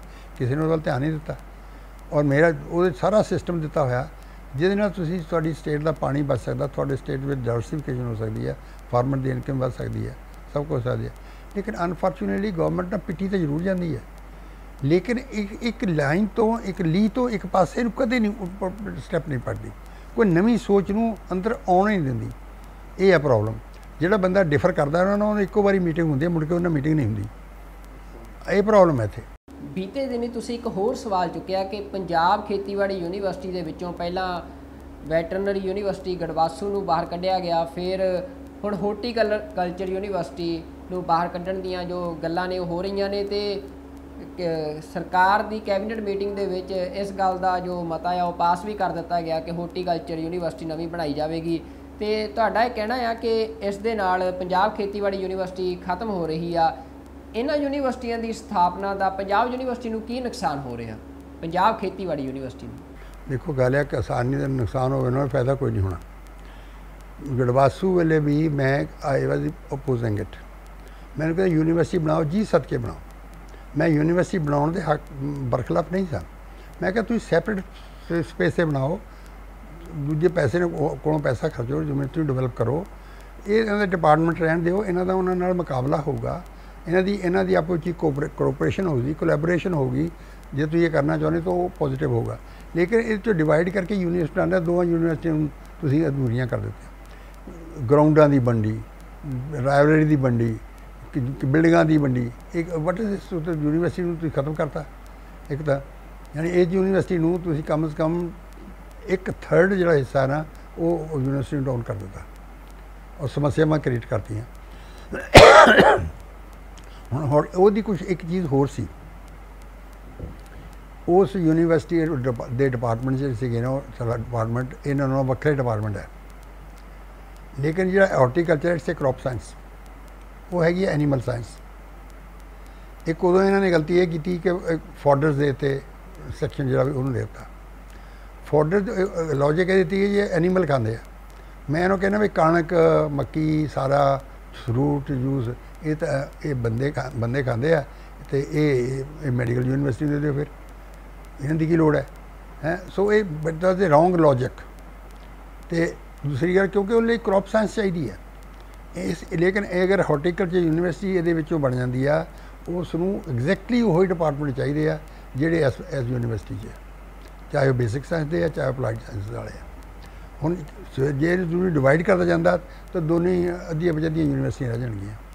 ਸੋ ਇਹ ਮੈਂ ਕਿਹਾ ਵੀ ਇਹ ਇਸ ਨਾਲ ਐਗਰੀਕਲਚਰ ਯੂਨੀਵਰਸਿਟੀ ਜਿਹੜਾ ਇੰਨਾ ਪ੍ਰੈਸਟੀਜ ਯੂਨੀਵਰਸਿਟੀ ਗਿਣੀ ਜਾਂਦੀ ਆ, ਉਹਨੂੰ ਤੁਸੀਂ ਡਾਊਨਸਾਈਜ਼ ਕਰਕੇ ਖਤਮ ਕਰ ਦਿੱਤਾ। ਤੁਸੀਂ ਯੂਨੀਵਰਸਿਟੀ ਬਣਾਉਣੀ ਆ ਬਣਾਓ। ਬਣਾਓ, ਲੇਕਿਨ ਵੱਖਰੀ ਬਣਾਓ। ਸੈਪਰੇਟ ਬਜਟ ਹੋਵੇ ਸੈਪਰੇਟ ਸਪੇਸ ਹੋਵੇ, ਇਹਦੇ ਚ ਕੋਈ ਫੈਸਿਲਿਟੀ ਨਾ ਕੱਢੀ ਜਾਵੇ। ਇੱਕ ਬਹੁਤ ਵਧੀਆ ਚੀਜ਼ ਹੈ ਕਿ ਇੱਕ ਪੋਸਟ ਗ੍ਰੈਜੂਏਟ ਇੰਸਟੀਚਿਊਟ ਆਫ ਜਿਹੜੀ ਆ, ਇੰਸਟੀਚਿਊਟ ਆਫ ਆਪਣਾ ਹਾਰਟੀਕਲਚਰ ਰਿਸਰਚ ਐਂਡ ਐਜੂਕੇਸ਼ਨ ਦੀ ਹੈ ਉਹਦੇ ਵਿੱਚ ਇੰਨਾ ਪੈਸਾ ਉਹਨਾਂ- ਉਹਦੇ ਵਿੱਚ ਹੈਗਾ ਉਹ ਤੇ ਮੈਂ ਡਿਟੇਲ ਦਿੱਤੀ ਹੈ ਉਹਦੇ ਵਿੱਚ, ਕਿ ਉਹਨਾਂ ਨੂੰ ਸਿਰਫ ਕੀ ਚਾਹੀਦਾ? ਅਟਾਰੀ ਫਾਰਮ ਦੂਸਰੇ ਫਾਰਮ ਤੋਂ ਪਹਿਲੇ ਉਹਨਾਂ ਨੇ ਅਗਰੀ ਹੋ ਚੁੱਕੇ ਆ। ਫਿਰ ਅਬੋਰ ਦੇ ਵਿੱਚ ਵੀ ਉਹਨਾਂ ਨੂੰ ਜ਼ਮੀਨ ਵੀ, ਬਾਗ ਵੀ ਉਹਨਾਂ ਨੂੰ ਮਿਲ ਗਿਆ ਰਿਸਰਚ ਵਾਸਤੇ। ਉਹਨਾਂ ਨੂੰ ਸਿਰਫ ਆਪਣੇ ਇਨਫਰਾਸਟ੍ਰਕਚਰ ਲਈ ਦਫ਼ਤਰ ਲਈ ਉਹਨਾਂ ਲਈ ਉਹਨਾਂ ਨੂੰ ਸਪੇਸ ਚਾਹੀਦੀ ਹੈ। ਉਹਨੂੰ ਸਿਰਫ 8 ਏਕੜ ਚਾਹੀਦੇ ਆ। ਉਹ 8 ਏਕੜ ਗੁਰੂ ਨਾਨਕ ਦੇਵ ਯੂਨੀਵਰਸਿਟੀ ਚੋਂ ਤੋਂ ਬੜੇ ਆਰਾਮ ਨਾਲ ਤੁਸੀਂ ਦੇ ਸਕਦੇ ਹੋ ਉਹਨਾਂ ਨੂੰ। 8 ਏਕੜ ਕੀ ਜ਼ਮੀਨ ਹੁੰਦੀ, ਉਹ ਉੱਥੇ ਝੋਨਾ ਗਰੋ ਕਰਦੇ ਆ। 8 ਏਕੜ ਜੋ ਦੇ ਦਿਓ, ਉੱਥੇ ਉਹਨਾਂ ਦਾ ਇਨਫਰਾਸਟ੍ਰਕਚਰ ਬਣ ਜਾਊ। ਉਸ ਯੂਨੀਵਰਸਿਟੀ ਵਿੱਚ 200 ਤੋਂ ਵੀ ਜ਼ਿਆਦਾ ਐਕਸਪਰਟਸ ਦੀ ਪ੍ਰੋਵੀਜ਼ਨ ਹੈ। ਔਰ ਬੇਤਹਾਸ਼ਾ ਬਜਟ ਹੈ। ਕੁਝ ਪੈਸੇ ਟ੍ਰਾਂਸਫਰ ਵੀ ਹੋ ਚੁੱਕੇ ਆ। ਸਿਰਫ ਉਸ ਕਰਕੇ ਉਹ ਲੈ ਲੈਣ ਉਹ ਐਡੀ ਵੱਡੀ ਜਿਹੜੀ ਜਿੱਥੇ ਕਿ ਸਟੂਡੈਂਟਸ ਦੀ ਟੌਪ ਦੀ ਰਿਸਰਚ ਹੋਣੀ ਆ ਟੌਪ ਦੀ ਹੋਣੀ ਆ, ਆਪਣੇ ਐਜੂਕੇਸ਼ਨ ਹੋਣੀ ਆ, ਉਹ- ਉਹਦੇ ਉਹਦੇ ਦਾ ਤੁਸੀਂ ਨਵੀਂ ਯੂਨੀਵਰਸਿਟੀ ਬਣਾਈ, ਕੀ ਕਰ ਲਓਗੇ? ਅਣੀ ਕਿ ਫੈਡ ਬਣਾਤਾ ਇਹਨਾਂ ਨੂੰ ਇਸ ਚੀਜ਼ ਨੂੰ। ਸੋਚ ਨਹੀਂ ਹੈ। ਉਹ ਕਿਉਂਕਿ ਕਰ ਰਹੀ ਆ ਕਰਨੀ ਆ ਹੁਣ ਅਸੀਂ ਗੱਲ ਦੀ ਸਮਾਪਤੀ ਵੱਲ ਵੱਲ ਨੂੰ ਵਧਦੇ ਹਾਂ ਤੇ ਆਰਥਿਕਤਾ ਦਾ ਇੱਕ ਹੋਰ ਪੈਮਾਨਾ ਪ੍ਰਤੀ ਵਿਅਕਤੀ ਵਿਅਕਤੀ ਆਮਦਨ ਆ ਜਿਹੜੀ, ਜੇ ਉਸ ਦੀ ਗੱਲ ਕਰੀਏ ਤਾਂ ਉਹ ਵੀ ਇਹ ਦੇਖਣ ਚ ਆਇਆ ਕਿ ਪਿਛਲੇ ਸਾਲਾਂ ਦੇ ਵਿੱਚ ਪਹਿਲਾਂ ਪੰਜਾਬ ਦੀ ਜੋ ਇਹ ਪ੍ਰਤੀ ਵਿਅਕਤੀ ਆਮਦਨ ਸੀ, ਇਹ ਕਈ ਸੂਬਿਆਂ ਨਾਲੋਂ ਜ਼ਿਆਦਾ ਹੁੰਦੀ ਸੀ, ਪਰ ਪਿਛਲੇ ਸਾਲਾਂ ਦੇ ਵਿੱਚ ਇਹ ਪੰਜਾਬ ਦੀ ਪ੍ਰਤੀ ਵਿਅਕਤੀ ਆਮਦਨ ਵਿੱਚ ਗਿਰਾਵਟ ਆਈ ਹੈ ਤੇ ਹੋਰ ਸੂਬੇ ਨੇ ਜਿਹੜੇ ਉਹ ਭਾਵੇਂ ਉੱਤਰਾਖੰਡ, ਹਿਮਾਚਲ ਸੂਬਿਆਂ ਦੀ ਗੱਲ ਹੋਵੇ, ਉੱਥੇ ਪ੍ਰਤੀ ਵਿਅਕਤੀ ਆਮਦਨ ਆ ਜਿਹੜੀ ਉਹ ਵਧੀਆ ਆ ਮਤਲਬ ਜੇ ਸਾਰੀ ਗਰੋਥ ਦੀ ਗੱਲ ਕੀਤੀ ਜਾਵੇ, ਤਾਂ ਇਸ ਨੂੰ ਵੀ ਪੰਜਾਬ ਦੀ ਜੋ ਮਾੜੀ ਆਰਥਿਕ ਸਥਿਤੀ ਆ ਉਸ ਦੇ ਇੱਕ ਪੈਮਾਨੇ ਵਜੋਂ ਦੇਖਿਆ ਜਾ ਰਿਹਾ। ਤੇ ਇਹ ਉਦੋਂ ਆ ਜਦੋਂ ਪੰਜਾਬ ਦਾ ਇੱਕ ਵੱਡਾ ਹਿੱਸਾ ਅੱਜ ਵਿਦੇਸ਼ਾਂ ਦੇ ਵਿੱਚ ਪ੍ਰਵਾਸ ਕਰਕੇ ਉੱਥੇ ਕਮਾਈ ਕਰ ਰਿਹਾ ਤੇ ਉਹ ਪੈਸਾ ਪੰਜਾਬ ਵਿੱਚ ਆ ਰਿਹਾ। ਜੇ ਉਹ ਬਾਹਰ ਲੋਕ ਨਾ ਜਾਂਦੇ ਤਾਂ ਸ਼ਾਇਦ ਪੰਜਾਬ ਦੇ ਹਾਲਾਤ ਫਿਰ ਸੋਚਿਆ ਜਾ ਸਕਦਾ ਕਿ ਹੋਰ ਬਹੁਤ ਜ਼ਿਆਦਾ ਮਾੜੇ ਹੁੰਦੇ। ਤਾਂ ਜਦੋਂ ਇਹ ਸਾਰੀਆਂ ਸਥਿਤੀਆਂ ਬਣੀਆਂ ਹੋਈਆਂ ਨੇ, ਤਾਂ ਤੁਹਾਨੂੰ ਕੀ ਕੋਈ ਆਸ ਲੱਗ ਰਹੀ ਆ ਕਿ ਪੰਜਾਬ ਦੀ ਜਿਹੜੀ ਆਰਥਿਕਤਾ ਹੈ ਉਹ ਸਹੀ ਲੀਹ ਤੇ ਚੜ ਸਕਦੀ ਹੈ ਜਾਂ ਬਿਲਕੁਲ ਹੁਣ ਲੱਗਦਾ ਕਿ ਨਹੀਂ, ਇਹ ਹੁਣ ਸਹੀ ਲੀਹ ਤੇ ਨਹੀਂ ਚੜ ਸਕਦੀ, ਇਹ ਪੰਜਾਬ ਦੀ ਆਰਥਿਕਤਾ ਡਾਵਾਡੋਲ ਹੋ ਚੁੱਕੀ ਆ? ਦੇਖੋ, ਇਹ ਬਹੁਤ ਵੱਡਾ ਕੁਐਸਚਨ ਹੈ। ਜਿਹੜੀ ਸਾਰੀ ਸਥਿਤੀ ਆ, ਉਹ ਹੈ, ਮੈਂ ਉਹਨੂੰ ਜ਼ਿੰਮੇਵਾਰ ਗਵਰਨਮੈਂਟ ਹੀ ਸਮਝਾਂਗਾ। ਕਿਉਂਕਿ ਇਹਨਾਂ ਨੂੰ ਸੋਚ ਸਮਝ ਕੇ ਪਲਾਨ ਬਣਾ ਕੇ ਉਸ ਨੂੰ ਕੋਈ ਸੇਧ ਦੇਣ ਦੀ ਕੋਸ਼ਿਸ਼ ਨਹੀਂ ਕੀਤੀ। ਸਭ ਤੋਂ ਵੱਡੀ ਗੱਲ ਇਹ ਆ ਕਿ ਪੰਜਾਬ ਦਾ ਜਿਹੜੀ ਜ਼ਮੀਨ ਹੈ, ਉਹ ਛੋਟੀ ਤੋਂ ਛੋਟੀ ਤੋਂ ਛੋਟੀ ਤੋਂ ਛੋਟੀ ਹੁੰਦੀ ਜਾਂਦੀ ਹੈ। ਤੇ ਛੋਟੇ ਜ਼ਿਮੀਂਦਾਰ ਦੀ ਜਿਹੜੀ ਆ ਆਮਦਨ ਇੰਨੀ ਨਹੀਂ ਹੁੰਦੀ ਜੇ ਤੁਸੀਂ ਅੱਜ ਸਤਾ- ਸਾਢੇ 17 ਏਕੜ ਜਿਹੜੀ ਜ਼ਮੀਨ ਦੇ ਉੱਤੇ ਸੀਲਿੰਗ ਵੀ ਲੱਗੀ ਹੋਈ ਹੈ, ਅਗਰ ਸਾਰੀ ਆਮਦਨੀ ਉਹ ਇਕੱਠੀ ਕਰ ਲਓ ਤੇ ਉਸ ਆਮਦਨੀ ਨਾਲ ਜਿਹੜੀ ਹੈ ਉਹ ਆਮਦਨ ਪਰ ਏਕੜ ਦੇ- ਪਰ ਪਰ ਯੂਨਿਟ ਦੇ ਹਿਸਾਬ ਨਾਲ ਕਿਸੇ ਵੀ ਸੈਂਟਰਲ ਗਵਰਨਮੈਂਟ ਦੇ ਸਟੇਟ ਗਵਰਨਮੈਂਟ ਦੇ ਸੁਪਰਡੈਂਟ ਨਾਲੋਂ ਉਹ ਘੱਟ ਆ ਜੀ ਅਸਿਸਟੈਂਟ ਦੇ ਬਰਾਬਰ ਵੀ ਨਹੀਂ ਆਉਂਦੀ। ਰੈਗੂਲਰਿਟੀ ਨਹੀਂ ਹੈ ਉਹਦੇ ਵਿੱਚ। ਸੋ ਉਸ ਐਸਪੈਕਟ ਨੂੰ ਦੇਖ ਕੇ ਜੇ ਦੇਖਿਆ ਜਾਵੇ ਤਾਂ ਮੈਂ ਸਮਝਦਾ ਕਿ ਪੰਜਾਬ ਦੀ ਹਾਲਤ ਨੂੰ ਜਿਹੜੇ ਹੈ ਇਹ ਇਹ ਇੰਨੀ ਇੰਪਰੂਵ ਨਹੀਂ ਹੋ ਸਕਦੀ। ਫਰਦਰ ਰਿਵੀਜ਼ਨ ਰਿਵੀਜ਼ਨ ਤੁਰੀ ਜਾਂਦੀ ਹੈ। ਨਿਊਕਲੀਅਸ ਫੈਮਲੀਆਂ ਬਣੀ ਜਾ ਰਹੀਆਂ। ਉਹਨਾਂ ਕੋਲ ਫੰਡਸ ਨਹੀਂ ਹੈ, ਜਿਹੜਾ ਕੋਈ ਪ੍ਰੋਪਰਲੀ ਇਨਵੈਸਟ ਕਰਦੇ, ਨਾ ਉਹਨਾਂ ਦੀ ਇੰਟੈਂਸ਼ਨ ਫੰਡ ਕਰਨ ਦੀ। ਕਿਉਂਕਿ ਉਹ ਪਹਿਲਾਂ ਹੀ ਹਾਲਤ ਉਹਨਾਂ ਦੀ ਖਰਾਬ ਹੋਈ ਹੈ। ਉਹ ਮਾੜਾ ਜਿਹਾ ਧੱਕਾ ਲੱਗਦਾ, ਉਹ ਪੈਸਾ ਜਿਹੜਾ ਉਹ ਅੰਦਰ ਕਰਦੇ ਨਿਕਲ ਜਾਂਦੇ ਆ। ਜਿੱਥੋਂ ਮਿਲਦਾ, ਉੱਥੋਂ ਹੀ ਲੈਂਦੇ ਆ। ਜੇ ਜੇ 24% ਤੇ 20% ਹੀ ਮਿਲਦਾ, ਉਹ ਵੀ ਲੈ ਲੈਂਦੇ ਆ। ਦੇ ਤਾਂ ਉਹਨਾਂ ਦਾ ਹੁੰਦਾ ਨਹੀਂ। ਇਦਾਂ ਕਰਦੇ ਥੱਲੇ ਦੱਬੇ ਜਾਂਦੇ ਆ। ਦੱਬੇ ਕਰਦੇ ਸੁਸਾਈਡ ਹੋਣੀ ਸ਼ੁਰੂ ਹੋ ਜਾਂਦੀਆਂ ਜਿੰਨਾ ਤੱਕ ਤੁਸੀਂ ਸਿਸਟਮ ਨਹੀਂ ਡਿਵੈਲਪ ਕਰੋਗੇ ਫਾਰਮਰ ਦੀ ਹਾਲ ਨੂੰ ਠੀਕ ਕਰਨ ਦਾ, ਜਿੰਨੀ ਦੇਰ ਤੁਸੀਂ ਉਹਨੂੰ ਕਰਜ਼ਾ ਪ੍ਰੋਡਕਟਿਵ ਪਰਪਸ ਲਈ ਜੁਦਾ ਔਰ ਕੰਜ਼ੰਪਸ਼ਨ ਪਰਪਸ ਲਈ ਜੁਦਾ, ਉਹਦੀ ਰਿਪੇਇੰਗ ਕੈਪੈਸਿਟੀ ਦੇ ਕੇ ਨਹੀਂ ਦਿੰਦੇ, ਇਹ ਸਿਸਟਮ ਚਲੀ ਜਾਣੀ ਹੈ। ਬਾਕੀ ਰਹਿ ਗਿਆ ਗਰੋਥ ਇੱਕ ਗੱਲ ਨਜ਼ਰ ਰੱਖਦੇ ਗਰੋਥ ਜਿਹੜਾ, ਇਹ ਬਹੁਤੀ ਕੈਲਕੂਲੇਸ਼ਨ ਠੀਕ ਨਹੀਂ ਹੁੰਦੀ ਇਹਦੀ। ਗਰੋਥ ਬਣਦੀ ਆ ਬੇਸ ਕੀ ਹੈ? ਪੰਜਾਬ ਦਾ ਫਰਜ਼ ਕੀਤਾ ਇੱਕ ਸੇ- ਕੋਈ ਕੋਈ ਸਿਸਟਮ ਹੈ ਇੱਕ 100 ਤੇ ਬੈਠਾ। ਇੱਕ ਸਟੇਟ ਦਾ ਜਿਹੜਾ ਸਿਸਟਮ ਹੈ, ਉਹ 10 ਤੇ ਬੈਠਾ 20 ਤੇ ਬੈਠਾ। ਉਹਦੇ ਤੇ ਜਿਹੜੀ, ਜਿਹੜਾ ਜਿਹੜਾ ਇੱਕ ਫਰਲਾ ਇੱਕ ਯੂਨਿਟ ਇਨਕਰੀਜ਼ ਹੋਈ ਤੇ ਪੰਜਾਬ ਦੇ ਉਹ ਕੀ ਬਣੇ 100 ਵਾਲੇ ਦਾ 1% ਹੋ ਗਈ। ਜੇ 10 ਤੇ ਬੈਠਾ ਉਹ ਉੱਤੇ ਕੋਈ ਤਾਂ ਉਹ 10% ਹੋ ਗਈ। ਇਹ ਪਰਸੈਂਟੇਜ ਮਿਸਲੀਡਿੰਗ ਨੇ। ਜਿਹੜੀਆਂ ਸਟੇਟਸ ਦੀਆਂ ਪਹਿਲਾਂ ਇਨਕਮ ਲੋ ਸੀਗੀਆਂ, ਉਹ ਜਿਉਂ-ਜਿਉਂ ਇੰਪਰੂਵ ਨੇ ਜਾਂ ਕਿਉਂਕਿ ਬੇਸ ਲੋ ਹੈ ਉਹਦੇ ਨਾਲ ਜਿਹੜੀ ਆ ਐਵਰੇਜ ਗਰੋਥ ਗਰੋਥ ਰੇਟ ਜਿਹੜੀ ਆ, ਉਹਨੇ ਜ਼ਿਆਦਾ ਹੋਣੀ ਆ। ਲੇਕਿਨ ਪੰਜਾਬ ਦੇ ਵਿੱਚ ਜਿੱਥੇ ਕਿ ਆਲਰੇਡੀ ਅਸੀਂ ਪੀਕ ਤੇ ਪਹੁੰਚ ਚੁੱਕੇ ਹਾਂ ਉਹਦੇ 'ਚ ਜਿਹੜੀ ਐਡੀਸ਼ਨ ਜਿਹੜੀ ਹੁੰਦੀ ਆ ਐਬਸੋਲੂਟ ਸੈਂਸ ਦੇ ਵਿੱਚ ਜ਼ਿਆਦਾ ਹੈ ਉਹਨਾਂ ਨਾਲੋਂ, ਲੇਕਿਨ ਜਦ ਤੁਸੀਂ ਪਰਸੈਂਟੇਜ ਦੇ ਹਿਸਾਬ ਤੇ ਲਓਗੇ ਤੇ ਇਹ ਘਟ ਆ ਜਾਏਗੀ। So growth rate is it not a indication of the growth of growth of income in state ਪਹਿਲੀ ਗੱਲ ਹੈ ਬਾਕੀ ਪਰ ਹੈਡ ਕਰਜ਼ੇ, ਪਰ ਹੈਡ ਇਨਕਮ ਦਾ ਸਵਾਲ ਹੈ। ਇੱਕ ਇੱਕ ਲਿਮਿਟ ਆਉਂਦੀ ਹੈ ਤੁਹਾਡਾ, ਤੁਸੀਂ ਕੋਲ ਜਿਹੜਾ ਐਗਰੀਕਲਚਰ ਦੇ ਵਿੱਚ ਸਕੋਪ ਨਹੀਂ ਹੈ ਨਹੀਂ ਕਿ ਉਹਨੂੰ ਤੁਸੀਂ ਹੋਰ ਫਰਦਰ ਉਹਦੀ ਪ੍ਰੋਡਕਟਿਵ ਮੈਕਸਿਮਮ ਪ੍ਰੋਡਕਟਿਵਿਟੀ ਹੈ ਇਸ ਵੇਲੇ। ਉਹਨੂੰ ਕਿੰਨਾ ਕੁ ਵਧਾ ਲਓਗੇ? ਫਿਰ ਦੂਸਰੀ ਗੱਲ ਇਹ ਵੀ ਜਿਸ ਬੰਦੇ ਕੋ ਕੋ ਵੇਚਣ ਹੀ ਹੈ ਨਹੀਂ, ਕਿਸੇ ਕੋ 2 ਏਕੜ ਹੈ, ਕਿਸੇ ਕੋ 1 ਏਕੜ ਹੈ ਤੇ ਕੋ 5 ਏਕੜ ਹੈ, ਉਹਨੂੰ ਉਹਦੀ ਪ੍ਰਾਈਸ ਵੀ ਉੱਪਰ ਦੇ ਦੇਵੋਗੇ ਤਾਂ ਕਿੰਨੇ ਕੁ ਵਧਾ ਦੇਵੋਗੇ ਉਹਨੂੰ? ਉਹ price increase also is no answer ਉਹ ਵੀ ਜਿਹਦੇ ਕੋਲ ਕੋ ਵੇਚਣ ਵਾਸਤੇ ਕੋ ਮਾਲ ਹੋਊਗਾ, ਉਹ, ਉਹਦੇ ਤੋਂ ਫਾਇਦਾ ਹੋਊਗਾ।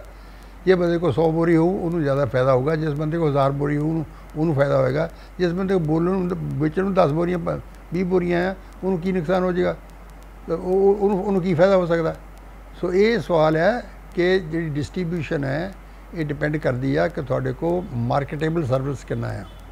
ਔਰ ਉਹ ਪੈਸਾ ਕਿੱਥੇ ਜਾਂਦਾ? ਕੋਈ ਸਾਰੇ ਹੀ ਸਟ੍ਰੈਸ ਨਹੀਂ ਹੈ। ਲੇਕਿਨ ਛੋਟੇ ਫਾਰਮਰ ਜਿਹੜੇ ਉਹਨਾਂ ਦੀ ਹਾਲਤ ਮਾੜੀ ਆ ਸੋ ਐਵਰੇਜ ਇਨਕਮ ਜਿਹੜੀ ਹੈ ਉਹ 'ਚ ਇਨਕਰੀਜ਼ ਘੱਟ ਹੁੰਦੀ ਆ। ਦੂਜੀਆਂ ਸਟੇਟਾਂ 'ਚ ਇਨਕਰੀਜ਼ ਵੱਧ ਹੁੰਦੀ ਆ। ਉਹ ਵੱਧਦੇ ਨਾਲ ਗਰੋਥ ਰੇਟ ਜਿਹੜਾ ਉਹ ਜ਼ਿਆਦਾ ਹੋ ਜਾਂਦਾ। ਆਖਰੀ ਸਵਾਲ ਉਹਨਾਂ ਖੇਤ ਮਜ਼ਦੂਰਾਂ ਬਾਰੇ ਕਿ ਪਿਛਲੇ ਸਾਲਾਂ ਦੇ ਵਿੱਚ ਦੇਖਣ ਚ ਆਇਆ ਕਿ ਜੋ ਪੰਜਾਬ ਦੇ ਵਿੱਚ ਖੁਦਕੁਸ਼ੀਆਂ ਦੇ ਆંકੜੇ ਨੇ, ਕਿਸਾਨਾਂ ਦੇ ਨਾਲ ਨਾਲ 50% ਦੇ ਕਰੀਬ ਖੇਤ ਮਜ਼ਦੂਰਾਂ ਦੀ ਗਿਣਤੀ ਆ, ਜਿਨ੍ਹਾਂ ਨੇ ਕਿ ਖੁਦਕੁਸ਼ੀਆਂ ਕੀਤੀਆਂ ਨੇ। ਸੋ ਜਦੋਂ ਕਿਸਾਨੀ ਦੇ ਧੰਦੇ ਦੇ ਵਿੱਚ ਕੋਈ ਲਾਹਾ ਨਹੀਂ ਰਿਹਾ, ਫਾਇਦਾ ਨਹੀਂ ਰਿਹਾ, ਤਾਂ ਕਿਸਾਨ ਦੇ ਨਾਲ ਨਾਲ ਖੇਤ ਮਜ਼ਦੂਰ ਤੇ ਵੀ ਉਸ ਦਾ ਉਨਾ ਹੀ ਅਸਰ ਪੈ ਰਿਹਾ। ਪਰ ਜੋ ਸਰਕਾਰ ਨੇ ਕਰਜ਼ਾ ਮਾਫੀ ਦੀ ਗੱਲ ਕੀਤੀ ਆ ਜਾਂ ਹੋਰ ਰੈਤਾਂ ਦੀ ਗੱਲ ਕੀਤੀ ਆ, ਉਸ ਦੇ ਵਿੱਚ ਕਿਤੇ ਵੀ ਖੇਤ ਮਜ਼ਦੂਰਾਂ ਦਾ ਕੋਈ ਜ਼ਿਕਰ ਨਹੀਂ। ਆਖਰ ਇਹ ਲੋਕ ਕਿੱਥੇ ਜਾਣ? ਜਿਹੜੇ ਵਰਕਰ ਨੇ, ਮਜ਼ਦੂਰ ਨੇ ਜਾਂ ਦੂਸਰੇ ਲੋਕ ਨੇ, ਆਰਟੀਜ਼ਨਸ ਨੇ ਪਿੰਡਾਂ ਦੇ ਵਿੱਚ, ਉਹਨਾਂ ਦੀ ਹਾਲਤ ਵੀ ਇਦਾਂ ਹੀ ਆ। ਉਹ ਹਾਲਤ ਕੋਈ ਚੰਗੀ ਨਹੀਂ ਉਹਨਾਂ ਦੀ। ਉੱਥੇ ਵੀ ਸੁਸਾਈਡਸ ਹੁੰਦੀਆਂ। ਉਹਨੂੰ ਕੋਈ ਨਹੀਂ ਗਿਣਦਾ। ਜਦ ਅਗਰ ਫਾਰਮਰ ਜਿਹੜਾ ਦੀ ਇੱਕ ਇੱਕ ਦੀ ਸੁਸਾਈਡ ਹੁੰਦੀ ਆ, ਉਹਦਾ ਰੀਜ਼ਨ ਕਰਜ਼ਾ ਨਾ ਵੀ ਹੋਵੇ, ਇੱਕ ਸਿਰਫ ਕਰਜ਼ਾ ਹੀ ਰੀਜ਼ਨ ਨਹੀਂ ਹੁੰਦਾ।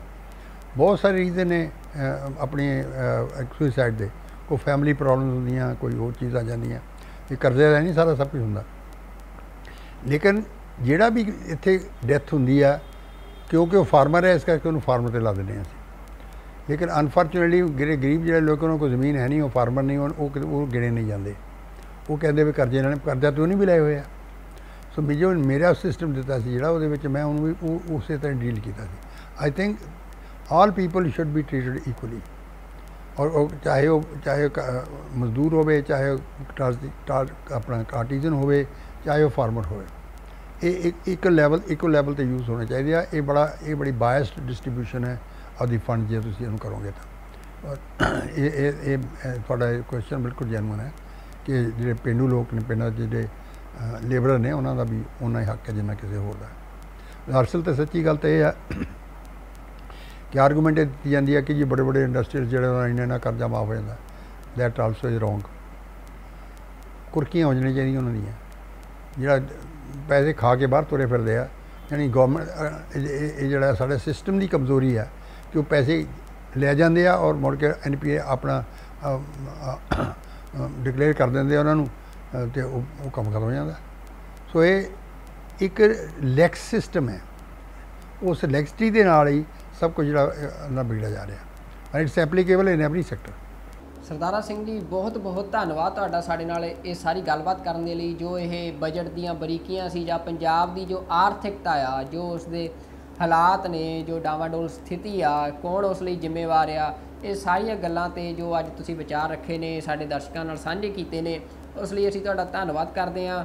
ਤੇ ਉਮੀਦ ਕਰਦੇ ਹਾਂ ਕਿ ਅੱਗੇ ਨੂੰ ਜਿਹੜੀਆਂ ਸਰਕਾਰਾਂ ਨੇ ਉਹ ਸਹੀ ਫੈਸਲੇ ਲੈਣ, ਆਪਣੀਆਂ ਨੀਤੀਆਂ ਉਹ ਇਸ ਤਰ੍ਹਾਂ ਦੀਆਂ ਬਣਾਉਣ ਕਿ ਪੰਜਾਬ ਦੀ ਜੋ ਆਰਥਿਕਤਾ ਆ, ਉਸ ਨੂੰ ਸਹੀ ਰਾਹ ਤੇ ਲਿਆਂਦਾ ਜਾ ਸਕੇ ਤੇ ਅਸੀਂ ਸਿਰਫ ਇਹ ਉਮੀਦ ਹੀ ਕਰ ਸਕਦੇ ਹਾਂ ਤੇ ਅਸੀਂ ਕੋਸ਼ਿਸ਼ ਕਰਾਂਗੇ ਕਿ ਇੱਕ ਸਾਰਥਕ ਮਾਹੌਲ ਇਸ ਤਰ੍ਹਾਂ ਦਾ ਬਣਾਉਣ ਦੀ ਲੋਕਾਂ ਦੇ ਵਿੱਚ ਇਸ ਗੱਲ ਨੂੰ ਲਿਜਾਣ ਦੀ ਜੋ ਮੀਡੀਆ ਦਾ ਫਰਜ਼ ਆ, ਜ਼ਿੰਮੇਵਾਰੀ ਆ ਕਿ ਜੋ ਸਰਕਾਰਾਂ ਨੇ ਉਹ ਸਾਰਥਕ ਕਦਮ ਪੰਜਾਬ ਦੀ ਆਰਥਿਕਤਾ ਨੂੰ ਬਚਾਉਣ ਲਈ, ਪੰਜਾਬ ਨੂੰ ਬਚਾਉਣ ਲਈ ਪੁੱਟਣ ਤੇ ਸਮੁੱਚੇ ਦਰਸ਼ਕਾਂ ਦਾ ਬਹੁਤ ਬਹੁਤ ਧੰਨਵਾਦ ਸਾਡਾ ਇਹ ਪ੍ਰੋਗਰਾਮ ਦੇਖਣ ਲਈ। ਅਗਲੇ ਹਫ਼ਤੇ ਕਿਸੇ ਹੋਰ ਨਵੇਂ ਮਸਲੇ ਦੇ ਨਾਲ ਤੁਹਾਡੇ ਸਾਹਮਣੇ ਪੇਸ਼ ਹੋਵਾਂਗੇ। ਮੈਂ ਤੁਹਾਡਾ ਆਪਣਾ ਸੁਖਵਿੰਦਰ ਸਿੰਘ, ਉਦੋਂ ਤੱਕ ਰੱਬ ਰਾਖਾ।